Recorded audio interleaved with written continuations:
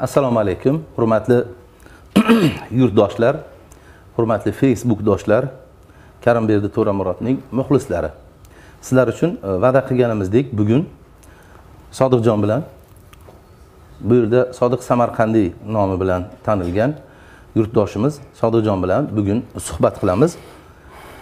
E, kelishib olganimizdek sizlarga va'da berganimizdek bugungi suhbatimiz faqat savol javoblar asosida bo'ladi sizlardan kelayotgan savollar asosida gaplashamiz sizga suhbatimiz avvalida bu suhbatga rozilik berganingiz uchun tashakkur izhor qilamiz ko'p ming sonli muxlislarimiz o'zbekistonliklar nomidan facebook kuzatuvchilari nomidan tashakkur izhor qilamiz boshladik bo'lmasa Xo'p, xush kelibsiz aka. Inshaalloh. xushvaqt bo'ling Men gapiraymi? Bunday qilsak bo'lmasa bilasizmi nima? Ko'pchilik e, sodiq samarqandiy deb biladi sizni. E, men sodiqjon desam nimaga jon deyapsiz deydi. Har savollar ko'pda. Shuni endi men siz bilan oldindan tanish bo'lganim uchun qalban yaqin bo'lganim uchun sizni sodiqjon deb murojaat qilaman. Lekin odamlar e, yaxshi bilavermaydi. Siz haqingizda uzuq yuluq ma'lumotlargagina ega ochig'i gap yashirmayman o'zbekistonda e, sodiq samarqandiyni eshitmanglar degan gaplardan odamlarda ozroq sizni nomingizdan qo'rquv bor. Shuning uchun savolni sal siz uchun yoqimsizroq bo'lsada shunday boshlasakki siz kimsiz aslida? Qachon qayerda tug'ilgansiz? Ota onangiz kim? Qayerda katta bo'lgansiz? Qaysi ariqni suvini ichib katta bo'lgansiz? Mana shular haqida bir e, aytsangizda odamlar sodiq samarqandiy kim degan savolga mana shu ko'rsatuvimiz suhbatimizdan keyin bir tasavvurga ega bo'lsalar shuni istardim Hop, Bismillahirrohmanirrohim. Alhamdulillahi robbil alamin va salatu vassalamu ala rasulihi Muhammad va ala alihi va ashabihi ajmain. Va ba'd. Uh, Avvalambor xush kelibsiz. Xushvaqt bo'ling. Rahmat. Alloh rozi bo'lsin.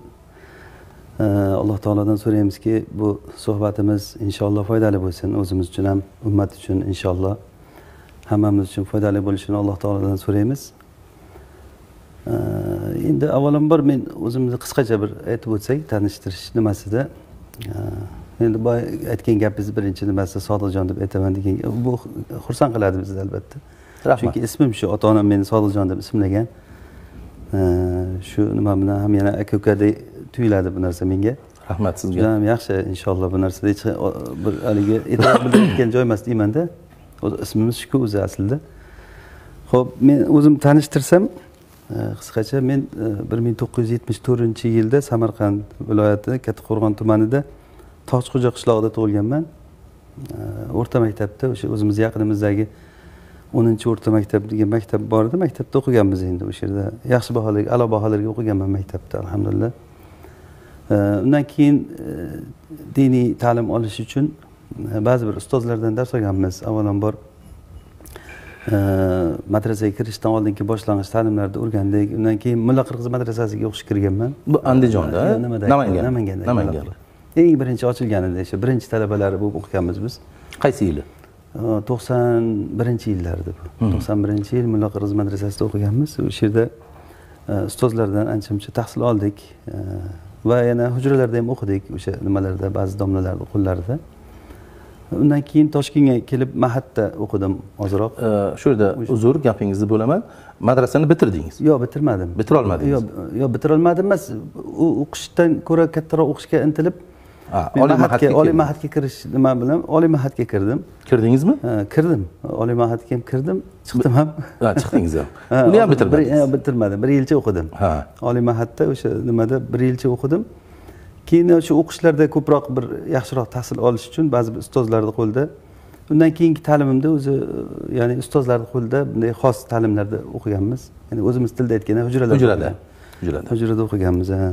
andijonda o'qidik namanganda o'qidik hujralarda. Endi alhamdulillah o'sha yerdagi ustozlarda aksarida ta'lim oldik.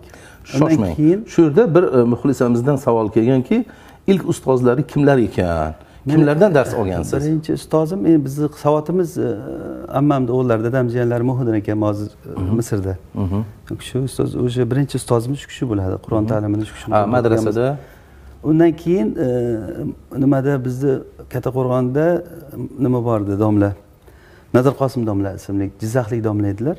Rahmatli o'tib ketdi kishi juda bir ajoyib yaxshi inson edi shu kishi imom bo'lib turgan paytlarida shu qiziqib masjidlarga bizni e, buvalarimiz u kishi masjidda namoz o'qiganlar E, shunga qiziqib farzandimizni o'qiting deb iltimos qilganda jizzaxga o'zi bilan birga olib ketgandi bizni u kishi jizzaxda e, moskva kolxozi bor hozirgi nimada o'sha jizzaxda o'qiganman. E, o'sha yerda birinchi ta'limni o'sha yerda olganmiz undan keyin mulla qiris madrasasiga kirdik. Demak siz o'n olti o'n yetti o'n yoshingizda? olti o'n olti yoshimdan boshlaganman boshlagan ekansizda. O'n o'n bir yoshimizdan o'zi ta'limni boshlab namoz bu ta'limni o'n bir yoshdan boshlagandik qishloqda undan keyin o'n olti yoshimizda bu nimaga ketdik? Bu keyingi madrasa keyingi e, hujralardagi bo'lgan ustozlaringizni bir sanab bersangiz o'quvchilarimizni savollariga javob bergan bo'lasiz. Ha hammasini aytib hammasini aytsangiz mayli vaqtimiz bemalol. Endi asosan o'sha bizdagi o'sha ta'lim nimalarida mashhur bo'lgan kishilar masalan e, namanganda muhammad amin akada o'qiganmiz ko'proq. Shayx muhammad amin aka deydi mulla qirg'iz madrasasida ustozlar olimxon domla davudxon domla bor edi ubaydulla mahsim muhammad ali qora aka shularda o'qiganmiz keyin keyin undan keyin o'sha bu mahadga kirdik mahad ta'limlari to'g'risini aytganda men uncha qoniqmadim o'sha paytdagi u paytlar qanaqadir o'tish davri bo'lganidanmi bizdan Ha, oldingilar juda yaxshi mahatda beriladigan tahsildan qoniqmadingiz. Qoniqmadim, ha. mahat sizdan emas. Yo'q men mahatdan qoniqmadimda. Bir yilcha yurdim o'sha Ha. yerda keyin hech e, haligi davomat o'qishdagi masalan nimalarga e, qoniqmadim. Va yana vodiyga ketdingiz. Ha undan keyin vodiyga ketib vodiyda ta'lim davom ettirdim. Undan keyin to'qson beshinchi yillargachada bu to'qson besh to'qson oltinchi yilgacha. Demak e, o'sha paytda siz yigirma bir yigirma ikkiga kirib qoldingiz. Undan keyin qur'on yodladim. E, bu orada keyin uyga kelib ishni boshladik. Uylandim uylangandan keyin ish fermer xo'jaligi bor edi yer olib ishlaganmiz. Ha yaxshi. Qur'ondan qancha yodladingiz? To'liq. Ha qur'on to'liq yodladim. Qori bo'ldingiz ha qori bo'lib Mashalloh. undan keyin ikki ming birinchi yillarida men e, hayotimdagi bir haligi asosiy asosiy narsalarni aytib o'tib ketyapman. E, bu orada masjidda imom bo'lib ishladim o'zimizda. Usmonxon domla rahmatli e, viloyat qozisi bo'lgan paytlarida ha muftiy sobiq muftiy. muftiy. O'sha paytda masjidda imom edim men. O'zimizda katta jome masjid bor edi o'sha yerda juma xutbasini qilardim. Ha. Undan keyin ikki ming birinchi ikki ming ikkinchi yillarga yaqin boshlarida edi.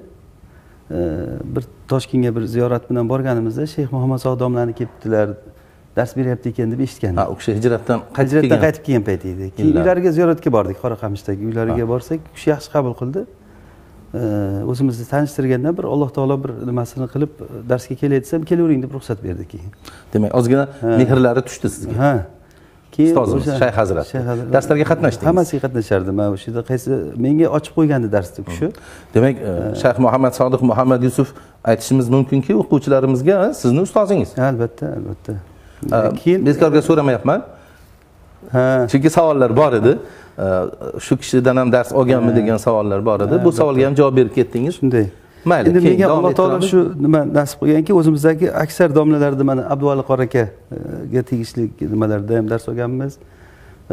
Va bu yoqdagi nima hozir aytgan mulla qiroz madrasasidagi domlalar ular o'zi asli bir biri bilan kelishmaydigan odamlar edi. O'sha paytda nimasini siz bir biri bilan kelishmaydigan domlalardan ham dars Ha, olavergansiz shu olloh nasib qilgan shu narsa bizga. Hammasidan dars olib chiqqanman men. Keyin e, muhammad sodiq domlarni nimalarida bir yilga yaqin yurdim endi.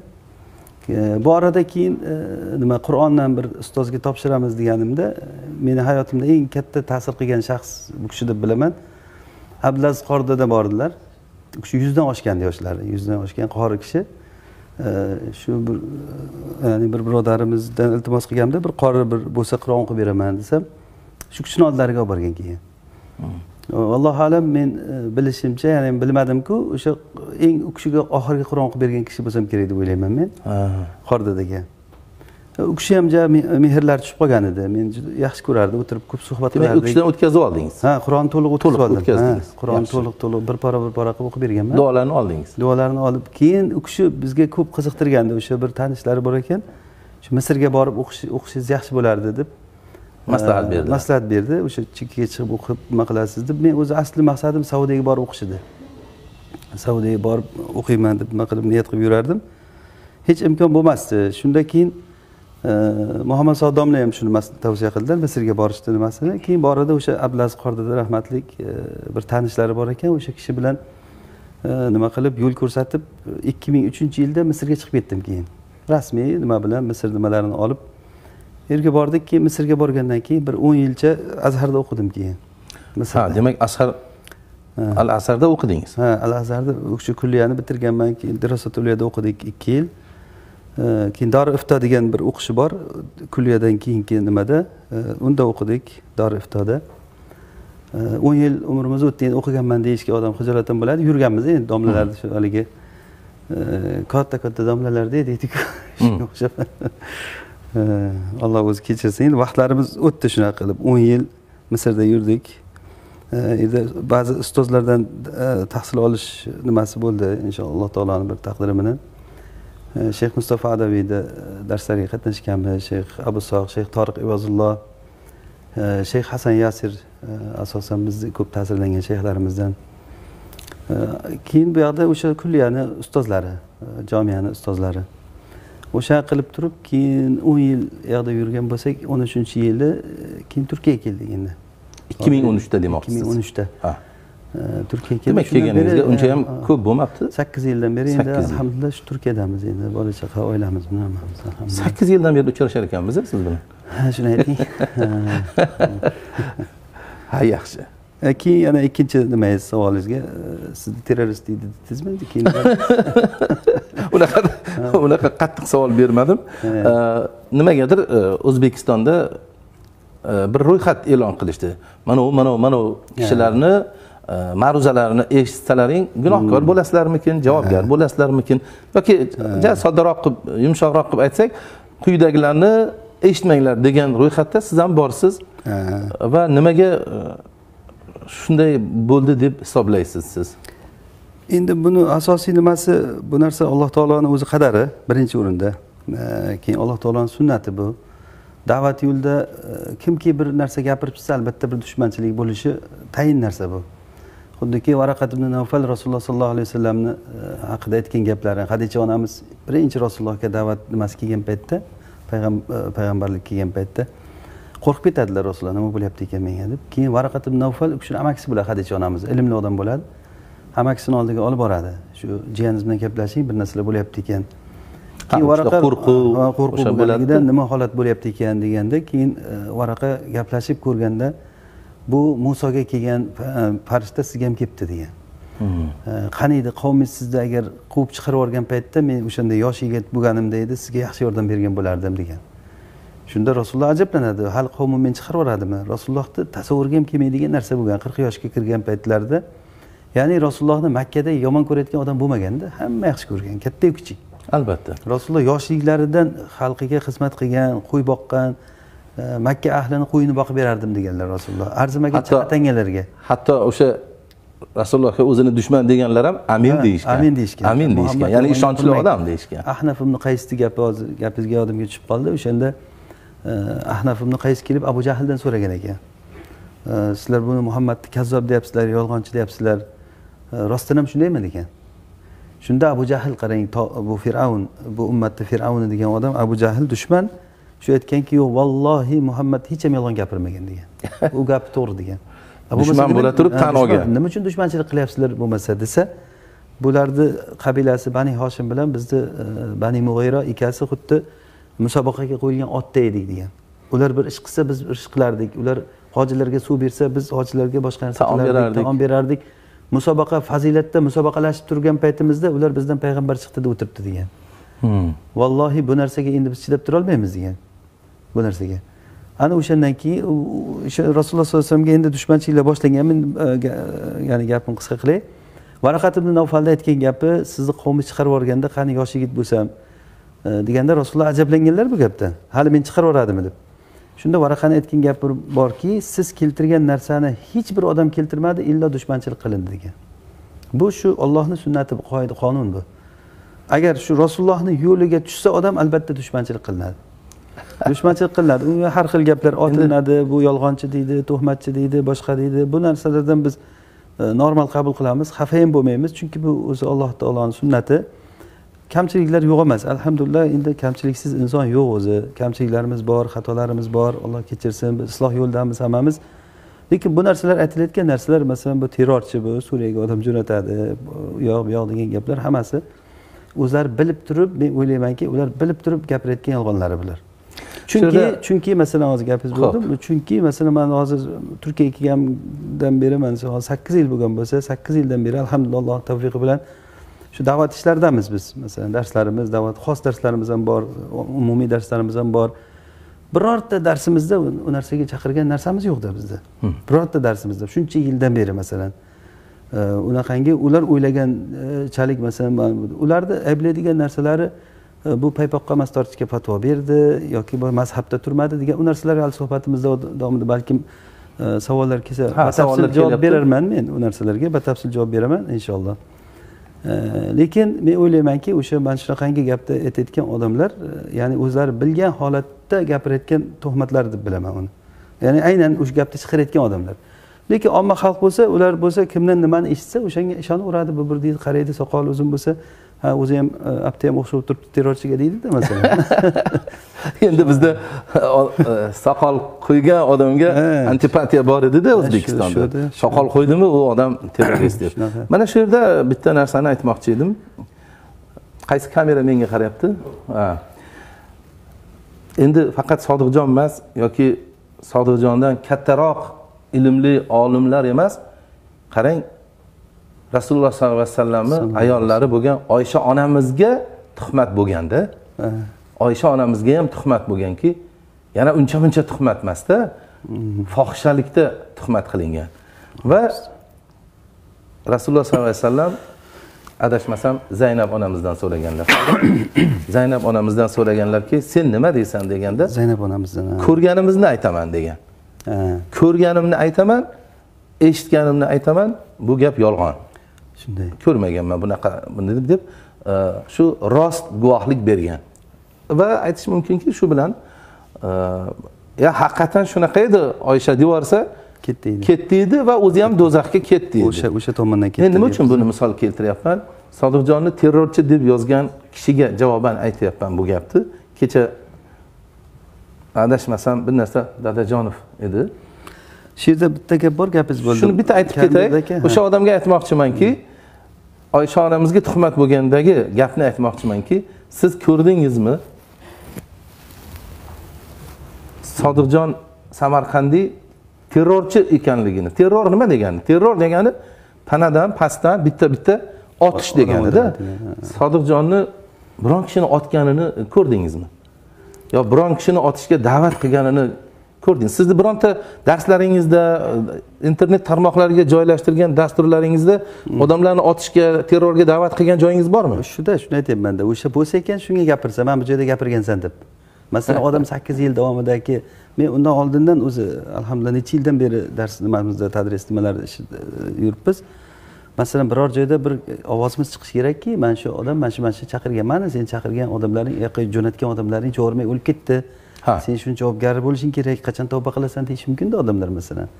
Ha, shu bugun ertalab bittasi yuboribdi savol yuboribdiki o'shanday. o'sha suriyaga odam yuborganlikda gumonlanadi.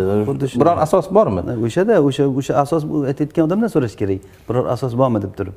Ha, o'sha sizda o'sha bir gumonga asos beradigan bir sabab manba bo'ladigan biron bir e, ilashgan joyingiz bormi yo'q o'shada o'sha o'sha joyga men e, hayron qolaman. Masalan agar bo'lganda edi masalan shuncha yilki da'vat nimasida ko'p marta chiqishi kerak edida bu narsa bir marta emas ko'p marta.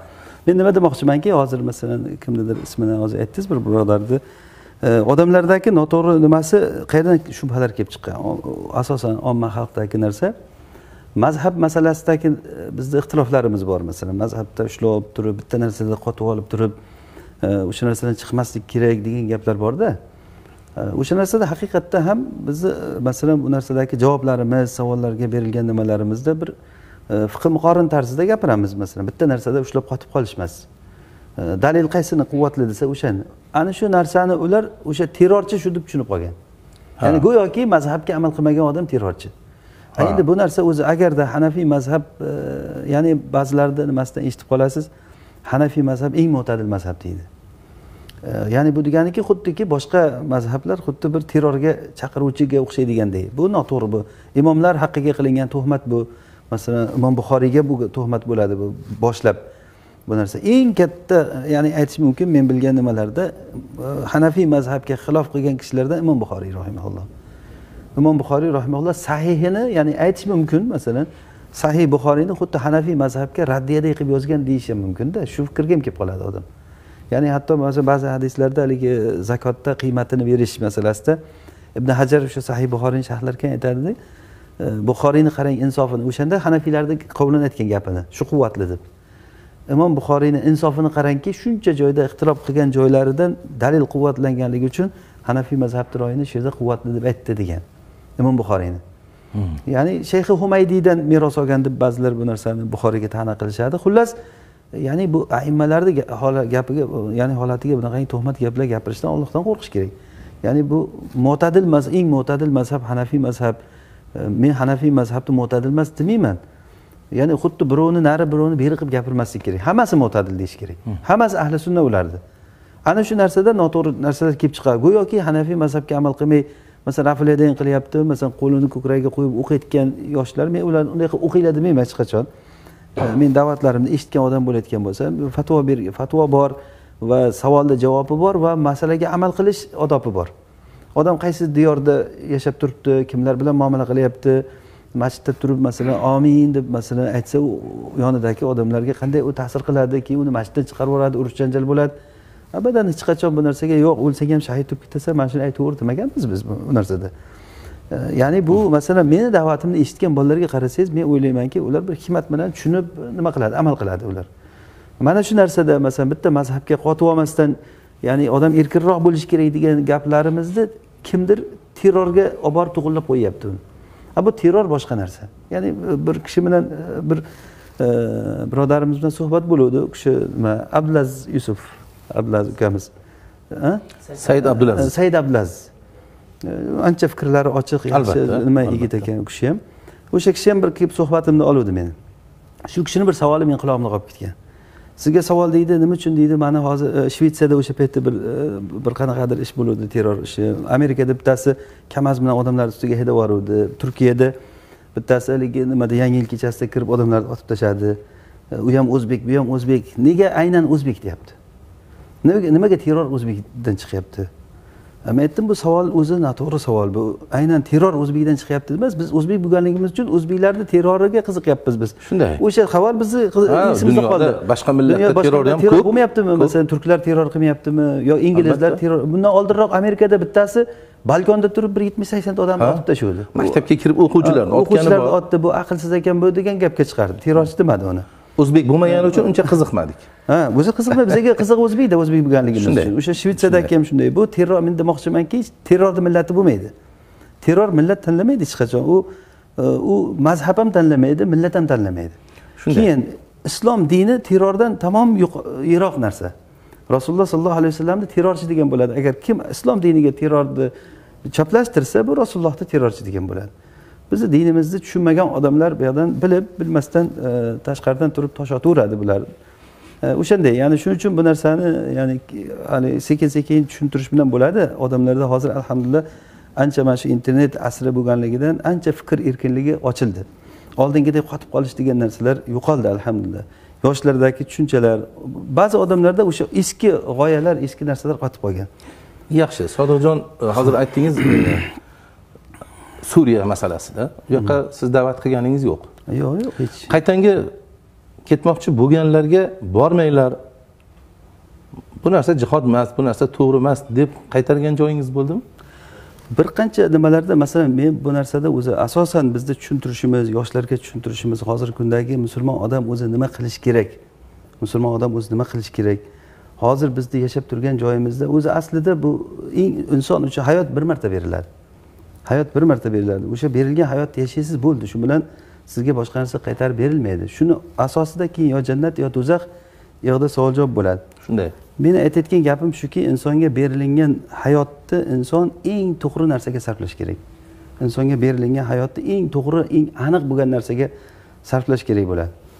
Maqsadimiz isloh bo'lishi kerak. Qayerda bo'lsa ham nima bo'lsa ham maqsadimiz isloh bo'lishi kerak. Bizga eng katta namuna bo'layotgan narsa men e, shu nimada? Aynan mana shu savollaringizga o'zi to'liq javob bo'layotgan qasos surasini tafsirini aytgan edik. Mazlum mo'minni yo'li degan bir nimada e, sarlavha ostida.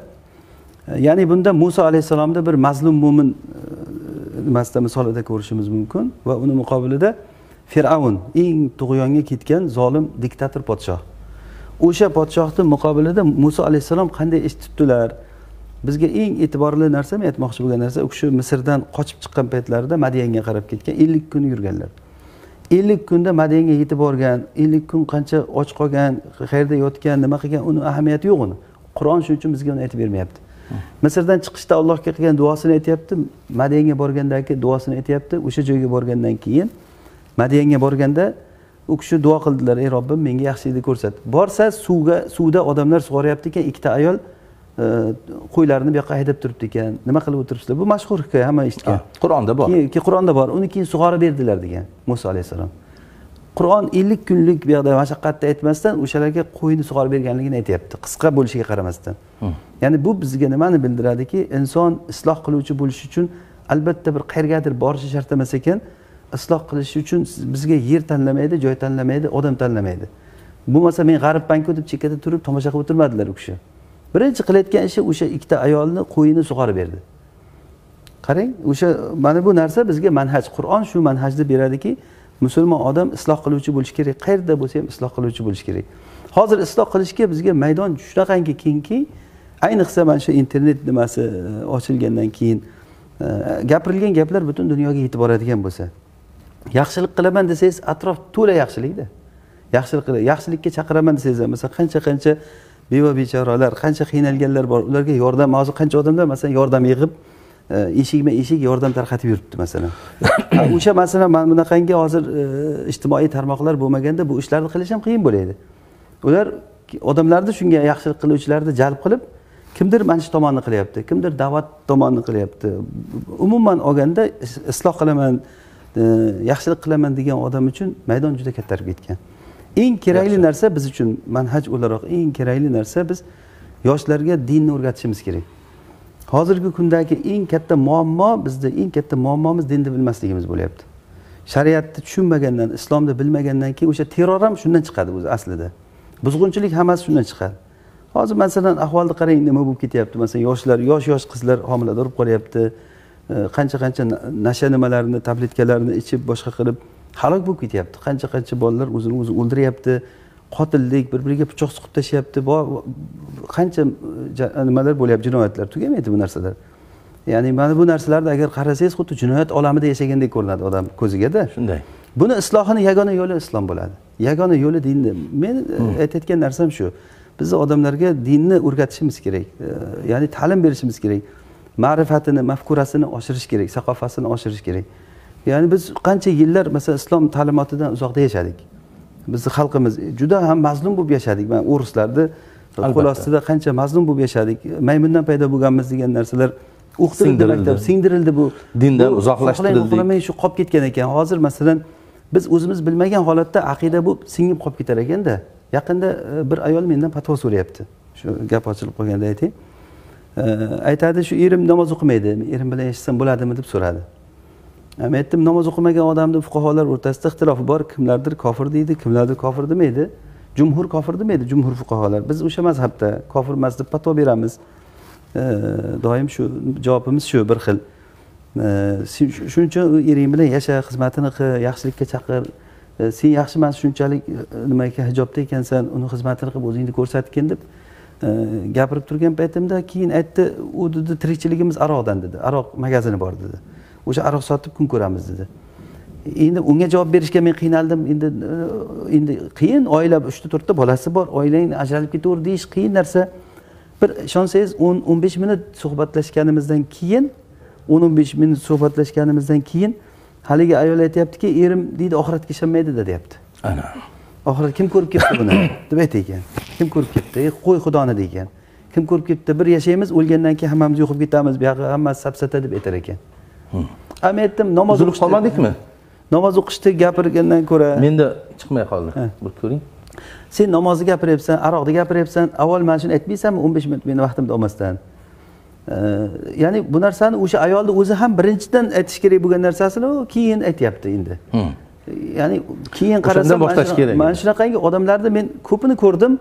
Oxiratga bo'lgan iymon odamlarda ya'ni ko'p odamlarda o'sha darvin tuzumini nimasi singib qolgan ekan. Shuning uchun tarbiya o'laroq oxiratni eslatish eng muhim narsa shu oxirat e, ya'ni bu dunyodan keyin yana bitta hayot bor o'sha hayotda yashaymiz degan narsani eslatish kerak odamlarga. Alloh yaxshi. Hali boshida kelishib oluvdik men sizni yaqinroqdan tanishtiraman deb odamlarga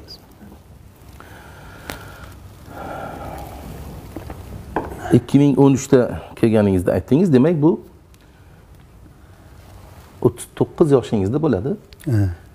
Rasululloh sollallohu alayhi vasallam qirq yoshda payg'ambarlik berilgan bo'lsa siz qirq yoshingizdan e, turkiyadasiz da'vatdasiz ekan.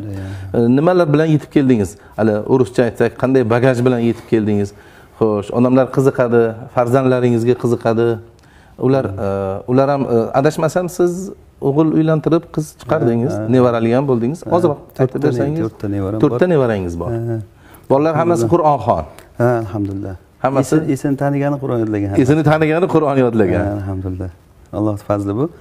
Endi qanday bagajda yetib keldingiz degan u rasmiy kelganman. Men o'zbekistondan rasmiy chiqib ketganman. Hech qachon qonuniy. Qonuniy. Hech qanday qonunni buzmagansiz. bir e, unaqa narsaga Ilm izlab Misrga bordingiz? misrni vizasini olib chiqib ketganmiz. Misrga rasmiy borganman rasmiy o'qiganman. Misr tugagandan keyin bu yoqqa rasmiy chiqib hech qanday bagajda yo boshqa pasport bilan unaqa narsa shoshmang shu yerda savol tug'ilib qoldi. Sizni qachon e, orqangizdan qidiruv berib yubordilar qidiruv bergani men misrda paytimda adashmasam qachon siz bildingiz misrda Misr- bildingiz misrda paytimizda bilganmiz ha sizga biron kishi aytdimi siz qidiruvdasiz endi albatta. Endi aynan o'sha idora sizga aytdimi siz qidiruvdasiz idora aytmadi. Men o'sha nimaga gazetga chiqardi televizorga chiqardi baribir o'zbekistondan chiqqandan keyin undan bundan yetib keladida endi palonchi aytdi deyish shart emas bu narsa mashhur. Siz bilan boshida kelishib oluvdik to'rtta narsa haqida gapirmaymiz deb. Bu endi siyosatga aralashmaymiz devdik. Lekin e, mana bu savolga javob bersak o'z o'zidan siyosatga aralashamiz men tushunmayman bir narsaniki. Sodiq samarqandiy qidiruvda ekan deydi. Yana suratini ilib qo'yishadi. A? qidiruvda deb. Men tushunmayman. Rasmiy idora kuch ishlatar a? idoralar sizni qidirgan bo'lsa ular mendan kuchliroq emasmi? Ichki ishlar yoki e, xavfsizlik xizmati mendan ularni vakolati kattaroq emasmi? Ular mendan kuchliroq bo'lishi kerak to'g'ri aytyapmanmi? Nimaga sizni ular faqat qidiruvda deb rasmingizni e'lon qiladiyu mana bu yerga kelmaydi? Hayronman mana tomoshabinlarimizga aytaman.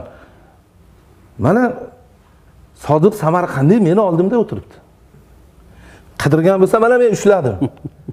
Nima qilishim kerak endi? Qayerga olib boray bularni men qarang olib kelib bu yoqqa desa qo'yavermayapti deysiz eng qizig'i bularni manzillari aniq.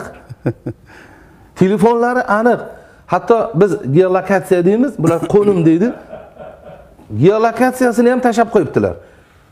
Aytinglar istanbul shahri boshaq shahar degan e, qismida qoya shahar degan joyida manzilni ayting o'zingiz ayting hatto ofislarni yozib qo'yibdilar. Qaysi ko'cha qaysi uyda. Mana o'sha ofislarda o'tiribman men. Va geolokatsiyani hozir istasalaring o'sha qidiramiz deganlar qidirib yurganlar. Marhamat sizlarga geolokatsiyasini tashlayman. Kelinglar mana uzoqdan qidiruvda qidiruvda deb rasmini har joyga ilmanglarda E, kelinglar men qachon kelsam to'g'ri e, kelyapman e, uchrashyapman. Mana choy xudoga shukur bir piyola choy beryaptilar. Choy ichyapman sodiqjonni topish qiyin emasda adresi aniq manzili aniq qo'nimi aniq ofisi aniq. Qayerda dars berayotgani kimga dars berayotgani aniq. Qidirayotgan birodarlar qidirayotgan do'stlar va do'st emaslar. Mana sodiqjon mana ofisi. Adreslari bor telefonlari bor lokatsiyalari bor. Oddiy bir e, jurnalist karimberdi to'ramurod qidirib kelib topdi. Sodiqjonni suhbatlashib o'tiribdi. Qidirayot rostdan qidiruvda bo'lsa sodiqjon kelinglar sizlar ham mana qidirib topinglar mana. Qiyin emas lokatsiyasi bor adresi bor telefonlari bor. Men shu qidiruvda degan narsani tushunmaymanda. O'zimni singlimni ham qidiruvga ber singlimni uyi aniq joyi aniq. Men kelsam singlimnikida mehmon bo'laman. Tushunmayman qidirganlar qanday qilib qidirasizlar kelinglar rostdan qidirayotgan bo'lsalar kelinglar mana sodiqjonni yonida joy bor meni yonimda joy bor. Kelib o'tirib suhbatlashinglar. Aybi bo'lsa mana aybing ekan denglar mana sodiqjon aytyapti men terror qilmadim biron kishini otmadim deyaptilar. Ilm axtardim ilm topdim endi ilm beraman deyaptilar. Boshqa e, kecha menga yozganlar terrorchi bilan uchrashmang ekstremist bilan uchrashmang deganlar men hayron qoldim. Men ekstremistni ko'rmayapman terrorchini ko'rmayapman. Balki ko'zim yaxshi emasdir. Xiradir sizlar ko'rgan narsani men ko'rmayapman. Aytinglar mana savollaringga o'tamiz. Boya aytganimdek siyosatga aralashmaymiz. bitta gap kelib qoldi marhamat bittasi aytyapti rossiyadan bir birodarimiz borda o'rtog'imiz. Aytadi shu bu yerda bittasi istanbulga kelgan ekan. Istanbulga keldim sodiq samarqandiy bilan uchrashmoqchiman shu u- u menga tanishligi bor. Ha oldiga borsam bo'ladimi? Shunga bir yo'l ko'rsatgin. Desa uni oldida qo'riqchilar yuradi sen ahadni jo'rasiman deguningcha seni otib tashlaydi ular ulgurmay qolasan. Aha tijorasiman deyishga ulgurmaysan. Ulgurmay qolasan otib tashlaydi. otib tashlaydi. Haqiqatdan sodiq samarqandiyni komandasi bor yigitlari bor operator yigitlar mana do'stlari bor. Otib tashlamaysizlarmi yo'q men qaysi kuni aqiqada ham birga bo'ldim. Tomoshabinlarim ko'rishdi. Aqiqada to'g'ridan to'g'ri sodiqjonni e, chiroyli ma'ruzalarini men jonli efirga uzatdim. Aqiqada otolmasliklari mumkin edi. Endi ko'pchilik mehmon bor edi. Bu yerda ofislarda otib qo'yish mumkin bo'lsa qurollarini ko'rmayapman. Nima bilan otishlarini bilmayman.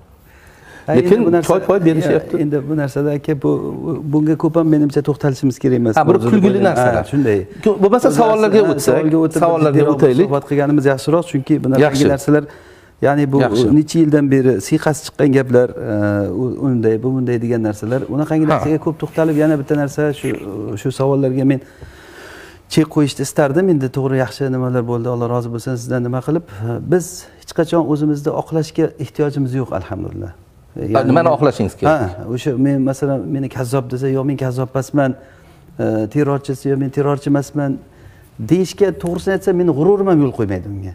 O'zi hozir mana kulgi bilan gap chiqib aytyapti lekin bu narsalarga shuning uchun ham birorta bir chiqishimizda boshqada men sizlar o'ylagan odam emasman deganim yo'q. E, bundan keyin ham inshaalloh aytmayman ham men. Chunki unda odam kimligimizni emassiz. bizni kimligimizni o'zi vaqt ko'rsatadi. Alloh taolo aytgandek amal qilinglar sizlarni olloh va rasuli va mo'minlar ko'radi degan.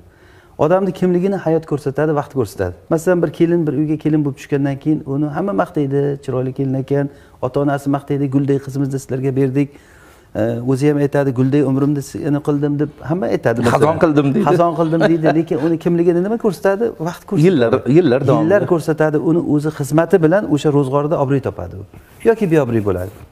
O'shanda inson hayotda o'zini e, ya'ni mehnati bilan o'zini sidiqi bilan ixlosi bilan samimiyligi bilan hayotda ko'rinadi. Shuning uchun meni hayotga qo'ygan ya'ni prinsipim shu ya'ni bizni umuman men deganim o'zi biz jamoatimizni nimamiz? Shu E, shuning uchun biz shaxslar haqida gapirmaymiz ham birorta odamni tanqid ham qilmaymiz inshaalloh shaxsan. Ha bu yerda falonchi haqida fikr ayting chilonchi haqida fikr ayting degan savollar ko'p kelyapti. Yo'q, unaqa savollarga Siz javob bermaysiz. javob bermaymiz foydasi ham yo'q gaplar ular. Yaxshi biz harakat qilamiz e, millatimiz uchun dinimiz uchun albatta. manfaatli bo'ladigan jiddiy, jiddiy e, mana shu savol foydali savol javob bo'lsa yaxshi. bo'ladi hammamiz uchun. Xo'sh bir kishi so'rayaptilar ayni damda musulmonlar har qanday ixtiloflarni bir chetga surib qo'yib o'zaro ittifoq tuzishi to'g'rimi yo ba'zi ixtiloflar bo'lib turishi to'g'rimi? Degan savol. Juda yaxshi savol mana shu narsa. O'sha ixtiloflarni bir chetga qo'yib qo'yish to'g'rimi yoki ixtilof bo'lib turgan yaxshimi? Bu narsa o'zi birinchi o'rinda ixtilof nimaligini tushunib olish kerak odam. Ixtilof nimaligini tushunsa o'z o'zidan biladi. Shuni bilish kerakki ixtilof bu qadariy narsa. Ixtilof bo'ladi. Alloh taolo aytganki "Huvallazi xalaqakum faminkum kafir va minkum mu'min" deb. Olloh sizlarni yaratdi kofir mo'min qilib degan. Bu yoqda kofir toifa bor bu yoqda mo'min toifa bor. O'rtada kelishmovchilik bo'ladi. Bu hayot qonuni. Yerga odam alayhissalomni tushirgan paytda yerga tushinglar bir birlaringga dushman bo'lib degan bu insondagi insoniyatdagi ollohni qonuni bu. Kofir va mo'min bo'lishi. Bu narsani yo'qotib bo'lmaydi bu narsa. Ixtilof davom etadigan narsa. Keyin ixtilof e, degan narsa bor xilof degan narsa bor.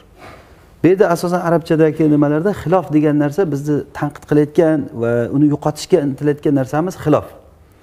Masalan e, biz hammamiz birlashishda masalan e, qanday qilib birlashamiz? Olloh bir desak bir nasoro kelib turib yo uchta desa.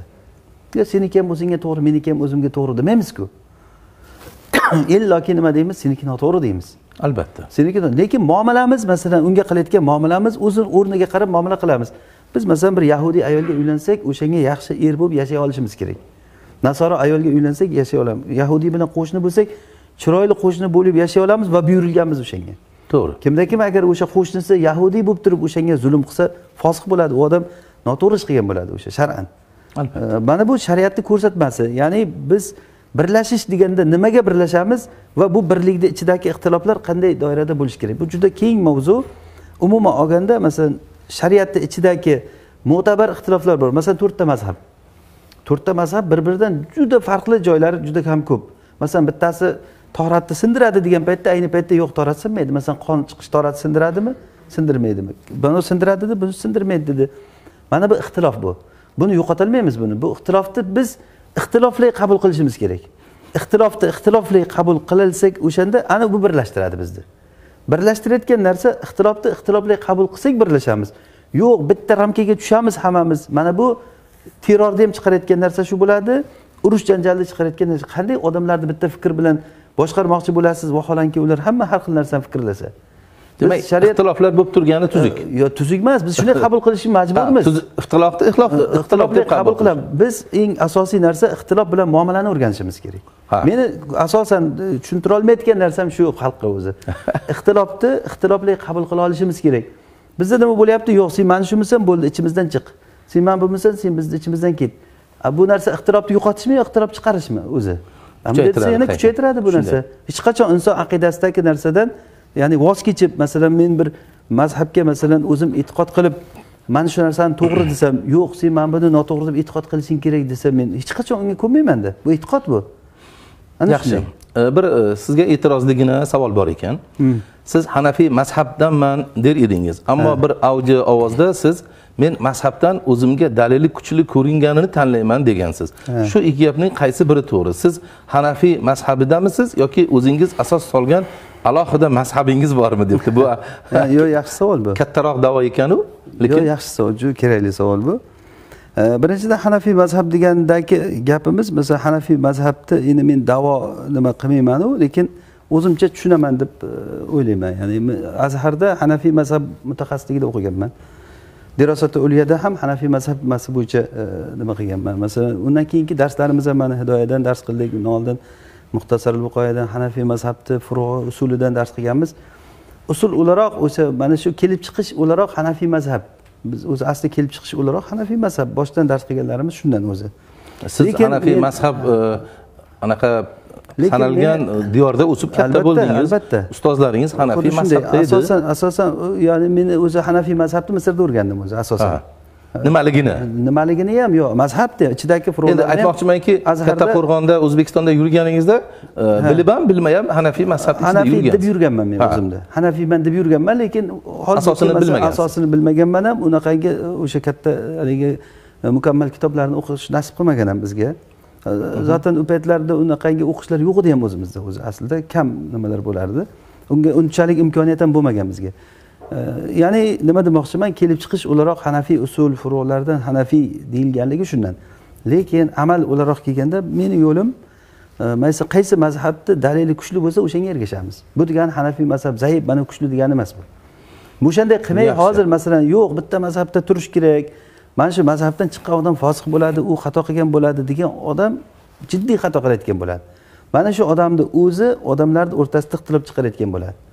Mana shu odamni o'zi ya'ni biz hozir biz undan oldingi savolga javobda aytdimku men biz ixtilofni ixtilofli qabul qila olishimiz kerak. Ixtilofni qabul qila olsak o'shanda urush janjal bo'lmaydi. Masalan man haramga holingizda qabul qilsinda odamlar. Xuddi shunday xuddi shunday deyapmanda masalan. Men ham ularni qabul qilaman gapingizni bo'lish bo'layotganimdan uzr so'rayman. Imom buxoriyga shu anaqa aytilgan ekan. Mana shunday xuddi shunday. Masalan hozir masalan o'zingiz nimaga aynan falon mazhabda emassiz deyishgan ekan? Xuddi shunday. Hozir masalan buxoriyni sahihini o'qigan odam o'zi biladi o'zi men sizga suhbat boshida ham aytdimu buxoriyni sahih. Xuddiki hanafiy mazhabga raddiyadek yozilganga o'xshaydi. Ya'ni har bitta bobni nimasida keladi bob mana shunday qilish deydi buni mana bunday degan odamlarga raddiya uchun aytdi buxoriy deydi u hanafiylar ular. Ya'ni juda ko'p bu narsalar. Buxoriy sahihida juda ko'p.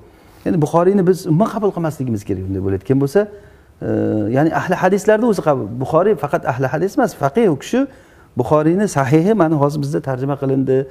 Xalqqa bu tavfiq bu alloh taoloni katta bir ne'mati tavfiqi bo'ldi o'sha sahih buxoriyni tarjima qilingani xalqni qo'liga yetib borayotganligi bu haqiqiy ilm mana shu narsa. Ya'ni men gapimni oxirida yana juplab juplab qo'yay gapimni. Ixtilofni biz ixtilofli qabul qilishimiz kerak. Ixtilofni ixtilofli qabul qilishimiz kerak va ixtilofga muomalani o'rganishimiz kerak. Hattoki xilof bo'lsa ham ya'ni xilof deganimiz hattoki yahudiy bo'lsa ham nasoro bo'lsa ham biz uni aytayotgan fikrini xato noto'g'ri deymiz. Lekin muomala o'laroq masalan joyi kelgan paytda ularga qarshi urushish kerak joyi kelgan paytda ular bilan sulh tuzish kerak joyi kelgan paytda ular bilan qo'shni bo'lib yashash mumkin masalan er xotin bo'lib yashash mumkin joylari bor. Ya'ni bu Demak- degani muomala degani. Demak mana bu savolga javob o'laroq e, siz qaysi mazhabni e, fatvosi o'sha haqiqatga yaqinroq bo'lsa aynan aynan aynan xuddi shunday. Olaman va shu bilan fatvo beramiz fatvo berishda ham Xuddi qaysini haq deb hisoblasangiz Xuddi shunday. shuni berasiz. Yaxshi. Uchinchi savol sodiq domla siz to'rtta bu ham mazhab ekan. E, uni rojih buni e, majruh deb e, olaversa bo'ladi deb darslar qildingiz. Sizga savol mazhab boshi imomlarimizni qaysidir e, ijtihodini e, rojih deganda qolgan uchta mazhab boshi imomlarimizni ijtihodlarini e, majruhga chiqaryapsiz. Bu gapingiz bilan men to'rttasidan ham ilmliman demoqchimisiz? Bu boyagidan ham kattaroq bir Yo'q, bu juda e, o'sha bir-biriga- ekan, e, bir-biriga yaqin ta'na savollar. ekan yoki to'rtta mazhabdan terib terib yangi mazhab qilmoqchimisiz? Ya'ni mushtahidmisiz debdi? Yo bu juda yaxshi savol. Men- bunga hozir boyagi o'zi bu juda keng mavzuda. Men xohlardimki o'zi aslida shu mavzu bo'yicha bir alohida bir suhbat qilish kerakda o'zi ya'ni bu qisqa nimasini ichida men to'liq masalan balkim yetkazib bera olmasman bu narsani balkim harakat qilaman qo'ldan kelgancha tushuntirishga. Hozirgi mana savol juda o'rinli savol. Masalan e, to'rtta mazhab deyapti. Birinchidan mazhab to'rtta emas yuzlab mazhab bor. Masalan sufiyani savriyni mazhabi lays ibn sad abdulloh ibn muborak mazhabi buxoriyni mazhabi humaydiyni mazhabi sufiyani savriy sufyan ibn uyayna ya'ni e, ulamolar yuzlab ulamolar xuddi abu hanifa singari endi biz to'rttasini bilamiz biza mashhur to'rtta mazhab bilib olganmiz lekin biz. vaholanki shiya mazhabini o'zida ham qancha anaqalar bor? Biz shiyani mazhabni e'tiborga olmaymiz. O'zimizda qancha ha, o'zimizda ahli sunnani aytyapman men. Ahli sunna. Imom man buxoriyga o'xshagan avzoiyga o'xshagan masalan abu hanifadek odamlar ular. Hmm. men o'shalarni aytyapman. Ana shular yuzlab mazhab bor. O'shalarda mashhuri to'rtta mazhab to'rtta mazhab turibdi. Ho'p hozir menga savol beruvchi odam savol beryaptiki siz hanafiy mazhabni qilmayman undan bundan terib terib fatvo beryapsiz. Yoki o'zingiz yangi mazhab Ha, joriy qilyapsizmi degan da'vo bor. kelaman hozir nima qilingda? Hozir hanafiy mazhabni bu kishini o'zi hanafiy mazhabni tutayotgan bo'lsa masalan men bu kishini o'ziga savol bersam masalan siz nima uchun hanafiy mazhabni tutyapsiz desam? Siz o'z o'zidan mana buyoqdagi mazhablarni tashlab hanafiy mazhabni olsangiz bularni marjuh degan bo'lib qolmaysizmi siz ham bu bu savol hammamizga keladigan savol. O'z o'zidan hanafiyni tutgan odam mana bu mazhablarda marjuh degan e, qovulda bo'ladida o'z o'zidan ya'ni undagi muomala bilan masalan u xuddi shofiy rahimalloh aytganlarku meni gapim to'g'ri o'zimga lekin xato ehtimoli ham bor. Menga xilof qilgan odamni gapi xato to'g'ri bo'lish ehtimoli ham bor. ana shu qabilda yondashishimiz chiroyli anaqa ekanda. Ha, shu shu qabilda yondashishimiz kerak. O'shanday hozir menga savol bergan odamga siz mana chiqib ketdingiz desa- degan odamga e, masalan to'rtta aytaylik mana to'rtta deylik. Ho'p mayli mazhab u kishi aytgandek to'rtta. Oldingizda to'rtta mazhab turibdi. Nima uchun hanafiyni tanladingiz nima deb javob beradi shunga? Nima uchun hanafiyni tanladingiz siz? Aynan. Endi menga savol bersangiz ham aytgan bo'lardim. Aksariyat 36 million odamga bersangiz otamni shu mazhabda topganman deydi shuda bu bu da- javob emasda bu. Shuda vajadna abaana kazalika yafalun bu aynan o'sha bu taqlid bu bu taqlid mumkin emas taqlid bu. Haq istagan paytda otam qilganini qildim deyish bu haqni istash emas bu. Shunday. Demak bu haq istagan odam umuman hech narsaga qaramay ko'r ko'rona shunday ergashib olgan bo'ladi. Men bu bilan hanafiy mazhab xato buni tashlanglar demoqchi emasman. Men ya'ni men bitta narsa aytmoqchimanki o'sha boshqa mazhablardagi narsani ham ehtirom bilan qarash kerak demoqchiman agar siz shunchalik olim bo'lib ketdingizmi mushtahid bo'lib ketdingizmiki hanafiylarni gapini tashladingiz desa men hanafiyni gapini tashlab shofiyni gapini olayotgan bo'lsam bittasi aytadiki sen avval abu hanifadek bu keyin raddiya ber a sizchi hanafiy bo'lib turib hozir shofiyni tashlasangiz siz shofiydek bo'lib keyin raddiya bildirdingizmi yoki tashladingizmi uni?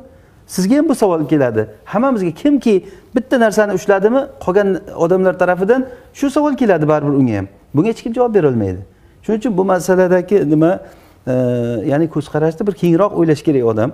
Keyin rojih marjuh masalasidagi aytgan gaplari rojih marjuh bu ijtihodiy masala bu. Ishtihodiy masala bu masalan kim uchun rojih bo'lgan narsa bo'ldi qiyomat kunigacha eng to'g'risi shu ekan deb hech kim e'tiqod qilolmaydi uni va u o'z navbatida u marjuh bo'lishi ham mumkin. Men o'zim masalan shu narsani to'g'ri deb o'ylagan narsam bilan fatvo beraman amal qilaman allohga shu bilan din tutaman ibodat qilaman shu bilan.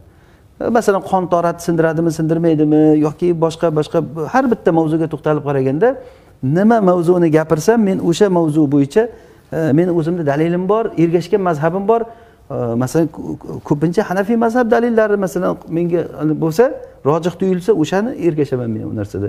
Ya'ni nima bilan rojih marjuh qilamiz desa asli mazhablar nimani ustiga qurilgan bo'ladi? Qur'oni sunnagami?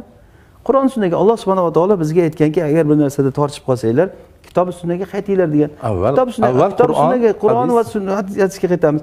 Hadisda masalan masalan bir mazhabda aytgan gapi bir hadisga qurilgan o'sha hadis haqidagi hukmda ulamolar ixtiloflashgan o'sha mazhab imomi bu hadisda hadis deb qilgan shu ishni.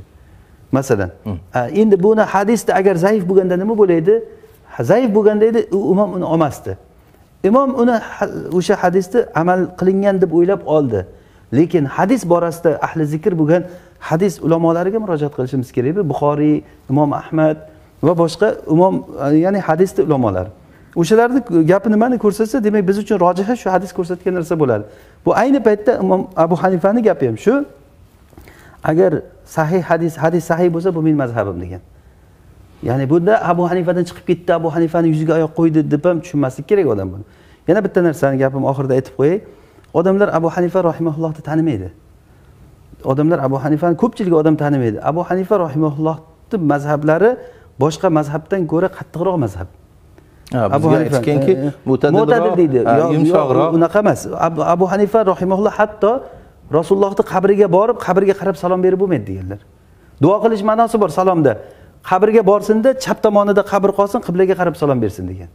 Duo ma'nosi borligi uchun degan qozi bo'lasan deganda kaltak yeb o'lgan abu hanifa rahimalloh qozi bo'lmayman deb. qozi bo'lmayman bu shunchalik qattiqligidan. Masalan imom ahmadlar ancha xalifalar bilan e, muomala qilgan odamlar. Kelisha kelisha olgan lekin abu hanifa rahimulloh qattiq bo'lgan. Kelishmagan. Hattoki masalan men u kishini masalan yomon ko'rsatish uchun aytmayapman balki aksincha yaxshi ko'rganimdan hurmat qilganimdan aytyapmanki u kishini mazhablari juda qattiq masalan e, hatto u kishini yana gaplari bor. Agarda e, davlat agarda rahbar agar xalifa agar fosiq bo'lib turib har xil gunoh ishlarni qilaversa xalqni kuchi yetsa uni uni ag'darish kerak degan. Buni imom imom ahmadlar bu gaplarni gapirmaydi. Yo'q sabr qilish kerak degan. Nima bo'lsa ham sabr qilish kerak qon to'kilib ketadi degan. Bu ishtihodiy masala. Masalan abu hanifa bunday degan imom ahmad bunday degan bu narsalar ishtihodiy masala. Men demoqchimanki abu hanifa rahimallohni mazhabi eng mo'tadil mazhab anaviga o'tsang terrorist bo'lib ketasan degan odamlarga abu hanifa rahimallohni tanimaydi imomlarni tanimaydi. Shuning uchun biz imomlarni hammasini boshimizga ko'tarishimiz kerak hammasini hurmat qilishimiz kerak. Bizni ergashayotganimiz imomlarni gaplaridan dalillar mana kitoblari turibdi. Ochaylik o'qiylik bu tushunmaydigan narsa emas bu. Abu hanifa rahimallohni masalalari hammasi oldimizda turibdi. Mana hidoya kitobini alhamdulillah dars qilib chiqdik buni hidoyadan mingdan ziyod dars bo'ldi. Masalan hidoyadan qilgan darsimiz mingdan oshdi abdullajon. Masalan muxtasardan dars qildik masalan. Ko'ryapmiz masalalarni boshqa mazhabni dalillarini ham ko'ryapmiz. Men o'zim uchun dalil jihatdan qaysi quvvatli deb e'tiqod qilsam o'shani aytamanda o'shani bilan fatvo beraman o'shanga amal qilaman. Bu degani mazhab tuzib oldi degani emas bu. Men albatta qaysi gapni gapirsam fatvo bersam bitta mazhabim bo'ladi meni. Ya'ni u mazhabim deganim tayangan meni tayanchim bo'ladi. Ha. o'shanda yo abu hanifaga tayanib gapirgan bo'laman yo Sh- shofiyga yoki imom ahmadga imom molikka kimgadir tayanib va ularni o'zi emas mana shu kishi orqali dalilga chiqib gapiraman men ha. Ya'ni bunday bo'lmasa gapni bilmayman deyman. Masalan yo hamma narsani bilaman degani emas bu to'g'ri tushunish kerak. Meni yo'lim shu.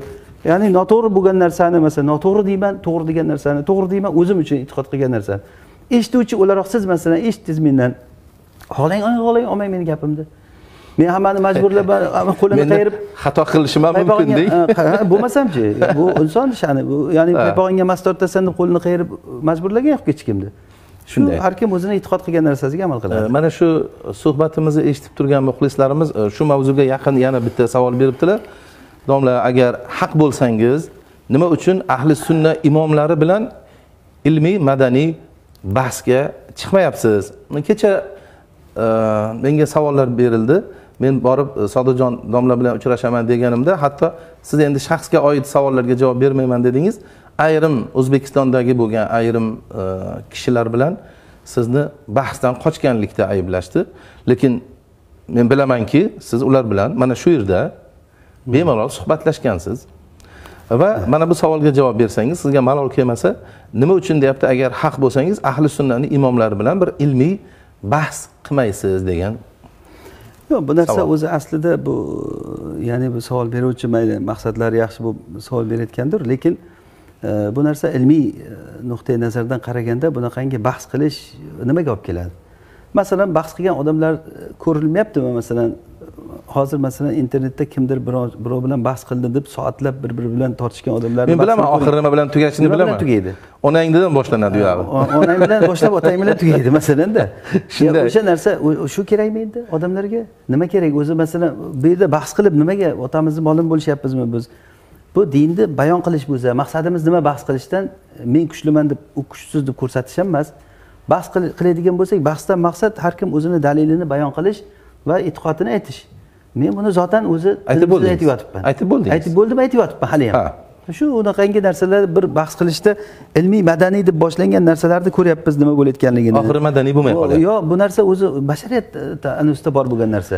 Shuning uchun eng eng yaxshisi o'sha bizni yo'limiz bu imom ahmad rahimaulloh usuli sunnat aqidada aytgan gaplar tarkul miroi val jidali val husumati fid din. Dinda tortishish talashish husumatlarni tark qilish. Alhamdulillah o'sha narsani biz ustozimizdan o'rganganmiz. Bizni yo'limiz shuki birov bilan talashmaymiz tortishmaymiz ya'ni o'zimizni yo'limizda davom etamiz haq deb o'ylagan narsamizni bayon qilamiz. Istasa olsin odam istamasa ya'ni ilmiy madaniy bo'layotgan bo'lsa madaniy javob bersin.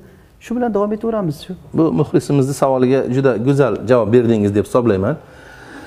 Bizda bahslashib keyin haqoratlashga o'tib ketgan e, anaqalarimiz bor bahs egalari bor u haqoratdan tashqari borib yaxshilab urib kelganlari ham bor. Bu narsa yaxshilikka olib kelmaydi. Xo'sh yana bitta savol. Hadis fiqh qur'on va yana ko'p islomiy ilmlarda ustozidan ijoza olish holati bor. E, bunga munosabatingiz ya'ni kim biror ilmdan gapirsa ustozidan ijoza olish kerakmi degan va yana bitta muxlisimizdan aynan shu savolni davomi o'laroq bir savol kelgan. Sizda qaysi ilmlardan va qaysi ustozlardan ijozangiz bor debdi keling ijoza haqida gaplashamiz va o'zingizniki ijozat degan narsa hozirgi kundagi tushunchadan kelib chiqib voqedagi tushuncha bir juda ham bu narsada chuqur ketib yuborish bir tushunchasi bor. Ijoza bor falon kitobdan ijozam bor piston kitobdan ijozam bor.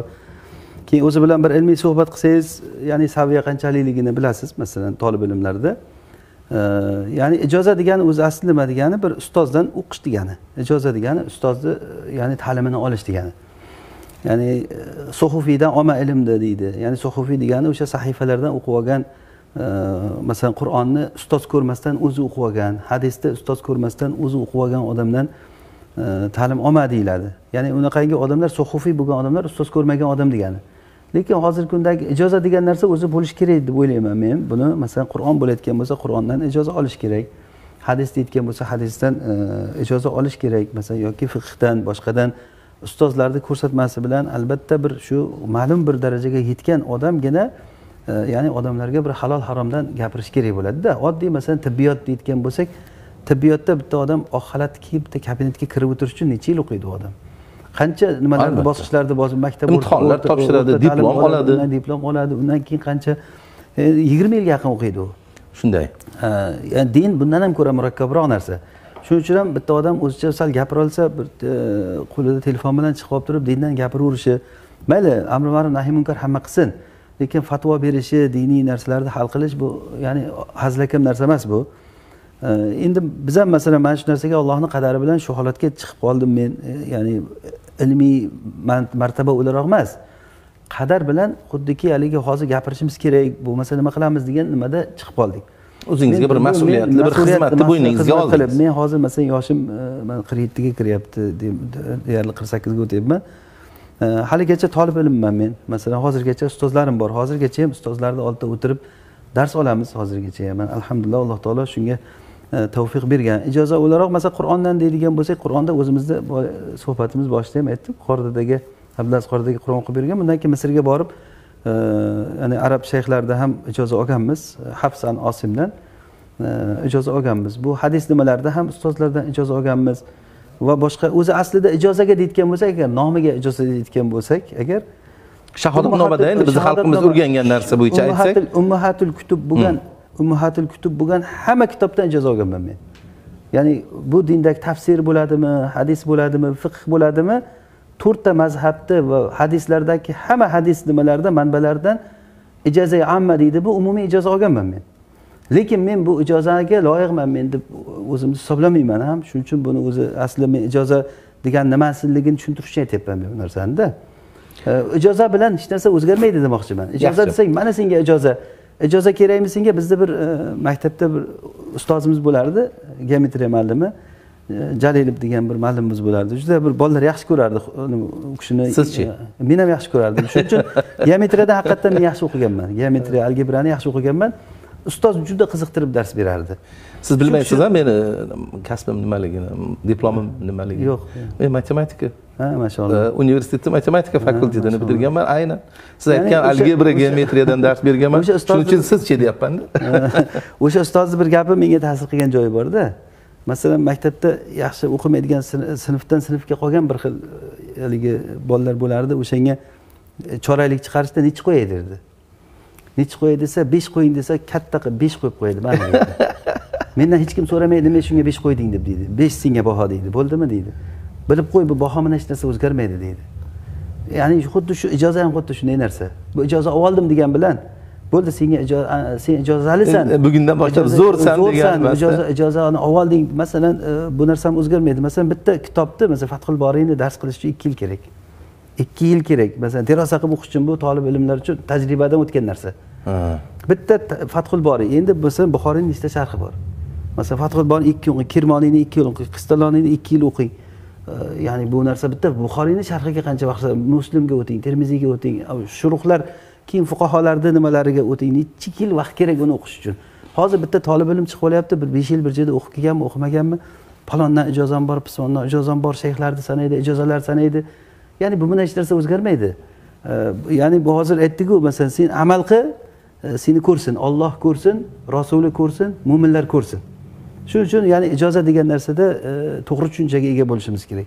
Ijoza bu ustozni ruxsati degani. Unaqangi ruxsat deyotgan bo'lsa hozir ular o'ylagan ruxsati bizda bor alhamdulillah.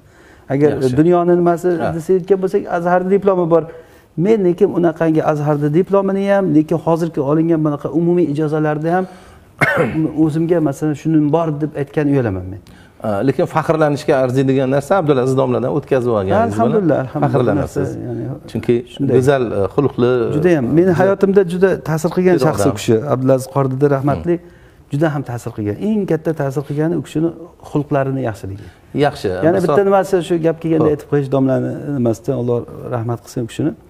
E, ba'zi joylarda qur'onda o'qiganda bir e, haligi vama fama degan joylar bor masalan. Valamma jau yoki falamma o'sha joyda masalan falamma deb o'qib ketsam e, ustoz quloqlari rosa olardida qaytaring der edi. Keyin bildimki demak valamma ekan. Keyin valamma deb o'qisam siz to'g'ri o'qiysizu qulog'im g'alati eshitadi deb qo'yardi. Xato qildik o'qishingizda xato yo'q eshitishimda xato bor.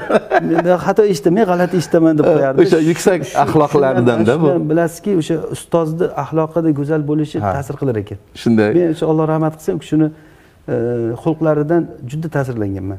Juda bir o'zi mu- muborak odam edi u kishi. Bir yuz nechiga oltiga kirib vafot etdilar. Shunday.